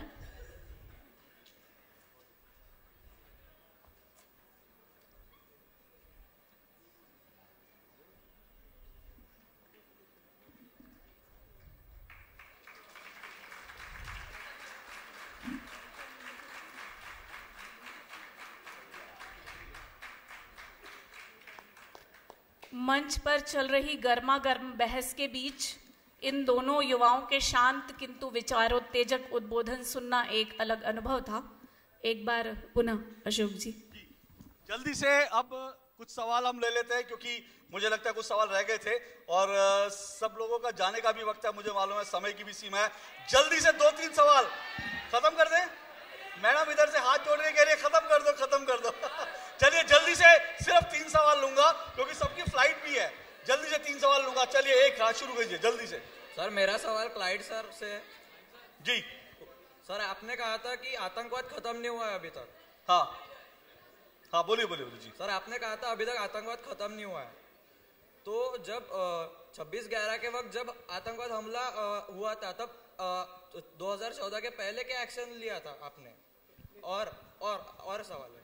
और जब पुलवामा के वक्त हम हमला हुआ तब भले ही आतंकवाद खत्म तो नहीं किया आतंकवाद खत्म तो अमेरिका ने भी नहीं किया है लेकिन हमने कोशिश तो की कि उसको जवाब दे सके।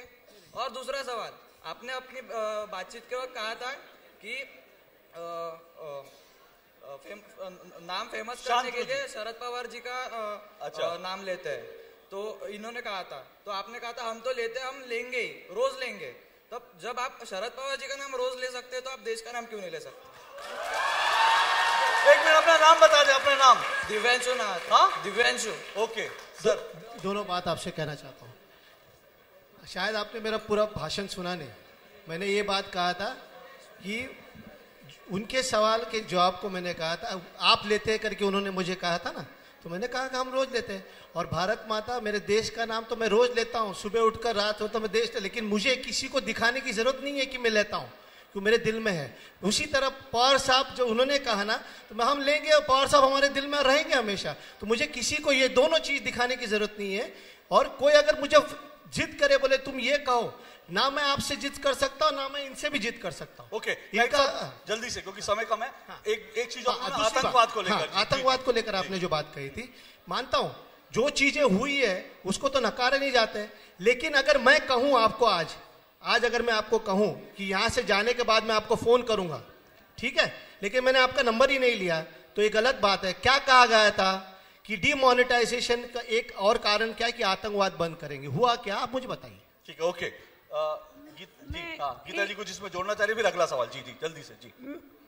मैं बस ये इसमें जोड़ना चाहती हूँ क्योंकि आतंकवाद के ऊपर तो जो भा- भारतीय फौज है हमारी जो सीमाओं पे खड़े होकर हम सबकी दिन रात एक करके हमारी जो रक्षा कर रहे हैं उनके जब हमारे यहाँ सेना का जो चीफ है जब उसके अपॉइंटमेंट के ऊपर राजनीतिक दल जब प्रश्न चिन्ह लगाते हैं तो जरा सा ये सोचने की आवश्यकता है कि ऐसा क्यों है कि आप एक, जो फौज है हमारी न्यूट्रल है और वो संविधान के साथ खड़ी है और वो सरकार के आदेश के साथ खड़ी है, वो भारत की जनता के साथ खड़ी है। जो फौजी दिन रात वहाँ बॉर्डर पे खड़े होकर हमारी देश की सीमाओं का रक्षा कर रहा है, उसके लिए भी कहीं दो आँसू और इसमें सिर्फ़ ये कहना चाहूँगी कि ऐसा क्यों है कि जब लेफ्टिनेंट उमर फयाद को कश्मीर में मार दिया जाता है उसके लिए जामिया में और जेएनयू में क्यों उसके लिए सेमिनार नहीं होते? बताइए। ठीक है क्यों आतंकवादियों के लिए होते हैं? बल्कि बल्कि बल्कि अशोक जी बोला जाता है कश्मीर में दहशत गर्दी है उसके पीछे वर्दी है। ऐसे बुराई ऐसे ऐसे आलोचना करी जाती है सेना को गली का गुंडा भी कुछ लोग कह देते हैं जो कि नहीं होना चाहिए ऐसी चीज़ें। जी हाँ बस जल्दी जी। मेरा सवाल शांतनु जी से जी। शांतनु जी अपना नाम बता दीजिए जल्दी से। सर मेरा नाम अदनान है I am not an anti national okay. Sir मेरा मिनट एक मिनट एक मिनट। ये आपने क्यों कहा? यहाँ आपको किसी ने इंटरनेशनल नहीं कहा। नहीं सर क्योंकि मेरा सवाल से शायद कोई बोले तो नहीं, पहले नहीं, क्लियर नहीं, करना नहीं, ज़रूरी ये है। सुने सुने ये इस तरह की भाषा मुझे लगता है इस्तेमाल क्योंकि कोई भी आपको कह नहीं रहा। सर, कह चुके हैं तो बोलना नहीं, नहीं, ज़रूरी होता है। नहीं, नहीं, कोई नहीं कहेगा और इस तरह की चीज़ें मेरे ख्याल से नहीं कहे ज़्यादा बेहतर है। क्योंकि कड़वाहट हम क्यों लाए? सर हमने सही है तो कहना ज़रूरी है। ठीक है चलिए आप बोलिए। सर मेरा शांतनु जी सवाल है। शांतनु जी आपने कहा कि वहाँ पे जो नारे लग रहे फ्री कश्मीर वगैरह सर फ्री कश्मीर का नारा जो लगा रहा है ना उसे देश से निकाले और उसको मार डाले। क्योंकि वो जो भी वहाँ पे कर रहे हैं और अगर वो मुसलमान है तो उनको ज़रूर मारे क्योंकि हमारे इस्लाम में कहा है कि जो देश का सर एक हिंदू मुस्लिम मत करो यार। हिंदू मुस्लिम नहीं उनका सवाल जो था उसी पे है क्योंकि वो मेन पॉइंट है। सर आपने कहा कि वहाँ पे एक नारा लगा कि तेरा मेरा रिश्ता क्या ला मोहम्मद और रसूलुल्लाह। सर उसका मतलब जानते हैं आप? उसका मतलब है कि अल्लाह एक है अल्लाह का रसूल मोहम्मद है। सर ये चीज़ है। और इससे- अगर इससे फ़ीस हाइक कैसे कम होगी? सर, सर, एक इससे फ़ी कैसे कम होगी? सर एक मिनट एक मिनट एक मिनट फ़ीस कम की बात नहीं कह रहा हूँ मैं। अगर वहाँ पे जो बोले सोनेहाल ससरी अकाल जल्दी से सवाल कुछ नहीं बोलते। जल्दी से सवाल कंप्लीट हो गया सर सवाल। हाँ ठीक है बैठे। शुक्रिया। जी शांतनु जी हाँ। शांतनु जी। जिनका पहला सवाल हाँ, देखिए फ्री कश्मीर जिसने लगाया उन्होंने उन्होंने बाद में आके कहा मैं तो इंटरनेट इंटरनेट की आज़ादी चाह रही थी। मैं मेरा केवल सवाल ये था उसमें कि उसमें तीन इंच की पट्टी और लगा लेते थे कि इंटरनेट फ्री करो। हमें पता है फ्री कश्मीर के नारे कब लगे थे? जब सेपरेटिस्ट मूवमेंट चला था जे में मैंने केवल ये कहा कि आप सीए से विरोध है तो तीन पन्ने का सीए पढ़िए और उसके विरोध करिए। उसके उस, उ, उसकी आड़ में कोई और अपना मुद्दा ना चलाइए। तेरा मेरा रिश्ता क्या? ला इल्ला इल्लल्लाह ये एक पुराना नारा है जो पैन इस्लामिस्ट और मुस्लिम ब्रदरहुड के लिए किया था कि इस देश की धरती से बड़ा जो हमारा मुस्लिम ब्रदरहुड है उससे ज़्यादा बड़ा है। जो हमने खिलाफत आंदोलन के समय भी सुना था। इसलिए मैं कह रहा हूँ जो आंदोलन है उसमें रहिए। अगर आपको फ़ीस हाइक है तो फ़ीस हाइक पे बोलिए। अगर आपको सीए है तो सीए में रहिए। उसको धार्मिक या उसको जातिवाद रंग मत दीजिए। चलिए अगला सवाल जल्दी से। जी। Very good evening. हाँ पीछे भी आएगा माइक जल्द आएगा जल्दी जल्दी आएगा जी। Very good evening to the honorable dignitaries on आएगा आएगा जी। आप बोलिए बोलिए बोलिए। जी आई एम पूर्वा मेरा क्वेश्चन ये है शांतनु सर से कुछ ऐसे कह रहे हैं कि 2014 से 2019 का ग्रामर चेंज हुआ है so my question to him is make in India जो कैंपेन है गवर्नमेंट का उसके बाद भी इकोनॉमिक स्लोडाउन अभी भी क्यों है? ठीक है okay uh, okay, okay Shantanu ji जवाब दे माइक पीछे बुझा दे। अब मैं सिर्फ़ दो सवाल और लूँगा क्योंकि नहीं तो सबकी फ़्लाइट छूट जाएगी। हाँ दो अशोक जी, उन्होंने बड़ा अच्छा सवाल पूछा कि make in India, make in India के बाद भी इकोनॉमिक स्लोडाउन क्यों है? देखिए इकोनॉमिक स्लोडाउन जैसा गीता जी ने कहा, एक ग्लोबल ग्लोबल परिस्थिति चल रही है। चाइना और अमेरिका के बीच में बहुत गंदी ट्रेड वॉर चल रही है, जिससे मार्केट की डिमांड ही कम है। जर्मनी जो सबसे बड़ा ऑटो मेकर है, आपने बड़ी बड़ी कारें जर्मनी में मिलती है। पच्चीस साल का सबसे बड़ा ऑटो रिसेशन है इस समय जर्मनी में। मेक इन इंडिया में पहले दो कंपनियाँ मोबाइल की थी, नब्बे कंपनियाँ मोबाइल बनाती हैं भारत में इस समय। डिफेंस में केवल चार या पाँच कंपनियाँ थी, इस समय सौ से डेढ़ सौ से ज़्यादा कंपनियाँ हैं। मैं आप सबसे कहता हूँ, जब प्लेसमेंट हो प्लेसमेंट की जगह सोचे कि आप क्या कंपनी बना सकते हैं। उसमें आपको मेक इंडिया से मदद मिलेगी। एक एक फैक्टर होता है ease of doing business Bharat की रैंकिंग सौ से ज़्यादा होती थी। अब पहली बार वो सत्तर, अस्सी के पास पैंसठ, सत्तर के पास आई है। नया टारगेट है कि पचास से नीचे कैसे आ जाए। केवल हम बैठे बैठे कहें, सरकार जॉब क्रिएट कर देगी, ऐसे नहीं करेगी। सरकार के पास लिमिटेड पूल है, उतनी सरकारी नौकरियाँ हैं। अगर आप बिज़नेस को आसान करना करेंगे तब आप जैसे ऑन्टरप्रनर नौकरियाँ क्रिएट कर पाएँगे। चलिए इधर से एक सवाल उसके बाद हाँ आप आगे जी क्योंकि देखिए मैं खुद स्कूल में कॉलेज में बैक बैक बेंचर था। मुझे बैक बेंचर से बहुत प्यार आया बड़ी देर से पीछे से हाथ उठा रहे थे इसलिए मैंने कहा आप आगे आ जाओ ताकि आपका सवाल ना छूटे। हेलो सर मेरा नाम मुकेश शाह है। सर आपने जो भी एक पॉइंट निकाले थे सर शराब की बात की थी जो दिल्ली में थर्टी फ़र्स्ट दिसंबर को एक हज़ार करोड़ का सेलिंग होता है अगर वही पैसा हम गरीबों में मतलब गरीबों में खर्चा करते तो उससे अच्छा हम सेलिब्रेट कर सकते बट सर, ये काम तो गवर्नमेंट ही करी ना सर। अगर गवर्नमेंट दारू, शराब सब बंद कर दे तो एक हज़ार करोड़ जो भी, वो सिर्फ़ दिल्ली का खर्चा है। अगर ओवरऑल इंडिया का देखा जाए तो कितने हज़ार करोड़ बच रहे सर। तो उसके बारे में क्या बोलना है सर? देखिए, एक मिनट हाँ ठीक है माइक दे दीजिए प्लीज़ जो आप कह रहे हैं ना, वो सरकार, देखिए, ये कर नहीं सकती। आप ये मान के चलिए, एक तो सरकार को जो रेवेन्यू है ना, वो शराब से बहुत बड़ा रेवेन्यू आता है। और इस देश में, अभी बिहार में, गुजरात में शराबबंदी है। लेकिन वो किस तरह की बंदी है? शराबबंदी में हमेशा जो दूसरे तरह के लोग हैं यानी जो स्मगलिंग करते हैं ब्लैक मनी से पैसा शराब खरीदते हैं उनकी तादाद बढ़ जाती है और खुद पुलिस वाले घर घर में शराब डिलीवर करने लगते हैं। ऐसा भी होता है। तो शराब बंदी कोई हल नहीं है लेकिन हम ही अगर शराब पीना छोड़ दें या कम कर दें तो ज़्यादा बेहतर है। मुझे ये लगता है। जी। जी सर सर यहाँ पे। हाँ बोलिए। सर मेरा नाम हिमांशु धावड़े है और मेरा सवाल सर एनसीपी लीडर से है। कि सर बोलते हैं कि नौकरी नहीं है नौकरी नहीं है पर हर कोई ऑन्ट्रोप्रेनर क्यों नहीं बन सकता है? सिर्फ़ नौकरी की बात करते हैं सर एक आप बात मुझे बताइए। आप अंबानी की बात करते पर धीरू भाई अंबानी भी तो बहुत नीचे से ऊपर उठे हैं ना सर? नहीं हाँ तो सुन ली नहीं नहीं तो आप आंट्रप्रनर क्यों नहीं बन सकते? तो सरकार 2014 से किसकी पूछ लेना शांतनु जो मेरे मित्र है उनसे पूछ ले आंट्रप्रनर क्यों नहीं बन सकते? सरकार- जवाब देंगे वो आपको। 2014 से चल रहे पूछ लीजिए। क्लाइव यही तो प्रॉब्लम है हम सरकार सरकार सरकार सरकार के बाहर सोचिए ऑन्ट्रप्रनर सरकार नहीं बनाएगी ऑन्ट्रप्रनर आपको खुद बनना जवाब भी रखेंगे तो सरकार नहीं बना पाएगी। सरकार माई अच्छा, बाप है छोड़ दीजिए। नहीं नहीं सुनिए अच्छा अच्छा नहीं बनाएगी, आपको खुद बनना पड़ेगा। Okay okay okay okay okay okay एक मिनट। तो इसका जवाब सुन लीजिए ये क्या बोल रहे हैं? सरकार के आगे सोचे आंट्रप्रनर सरकार नहीं बना सकती। तो इनका मेक इन इंडिया आंट्रप्रनर के लिए स्किल इंडिया क्या फेक है? फेक है फेक है क्या? बता दीजिए। आंट्रप्रनर से आंट्रप्रनर मिनिस्ट्री का के लिए किस लिए बनाया? पूछ लीजिए उनको फिर।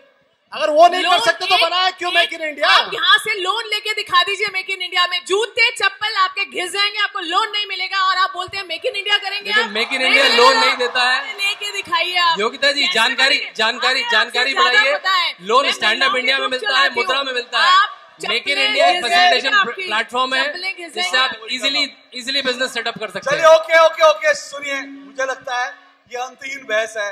मैं माफ़ी चाहता हूँ दोस्त बिल्कुल। सर लास्ट क्वेश्चन अच्छा। सर मेरे वो सर से क्वेश्चन है। दो क्वेश्चन है सर एक तो स्मार्ट सिटी बहुत डिबेट हुआ था सर आप लोग को ही पता है उनकी अब डिबेट नहीं होती। आई थिंक वो ओवर स्मार्ट हो गया है। भूल गए सब एक तो वो हो गया।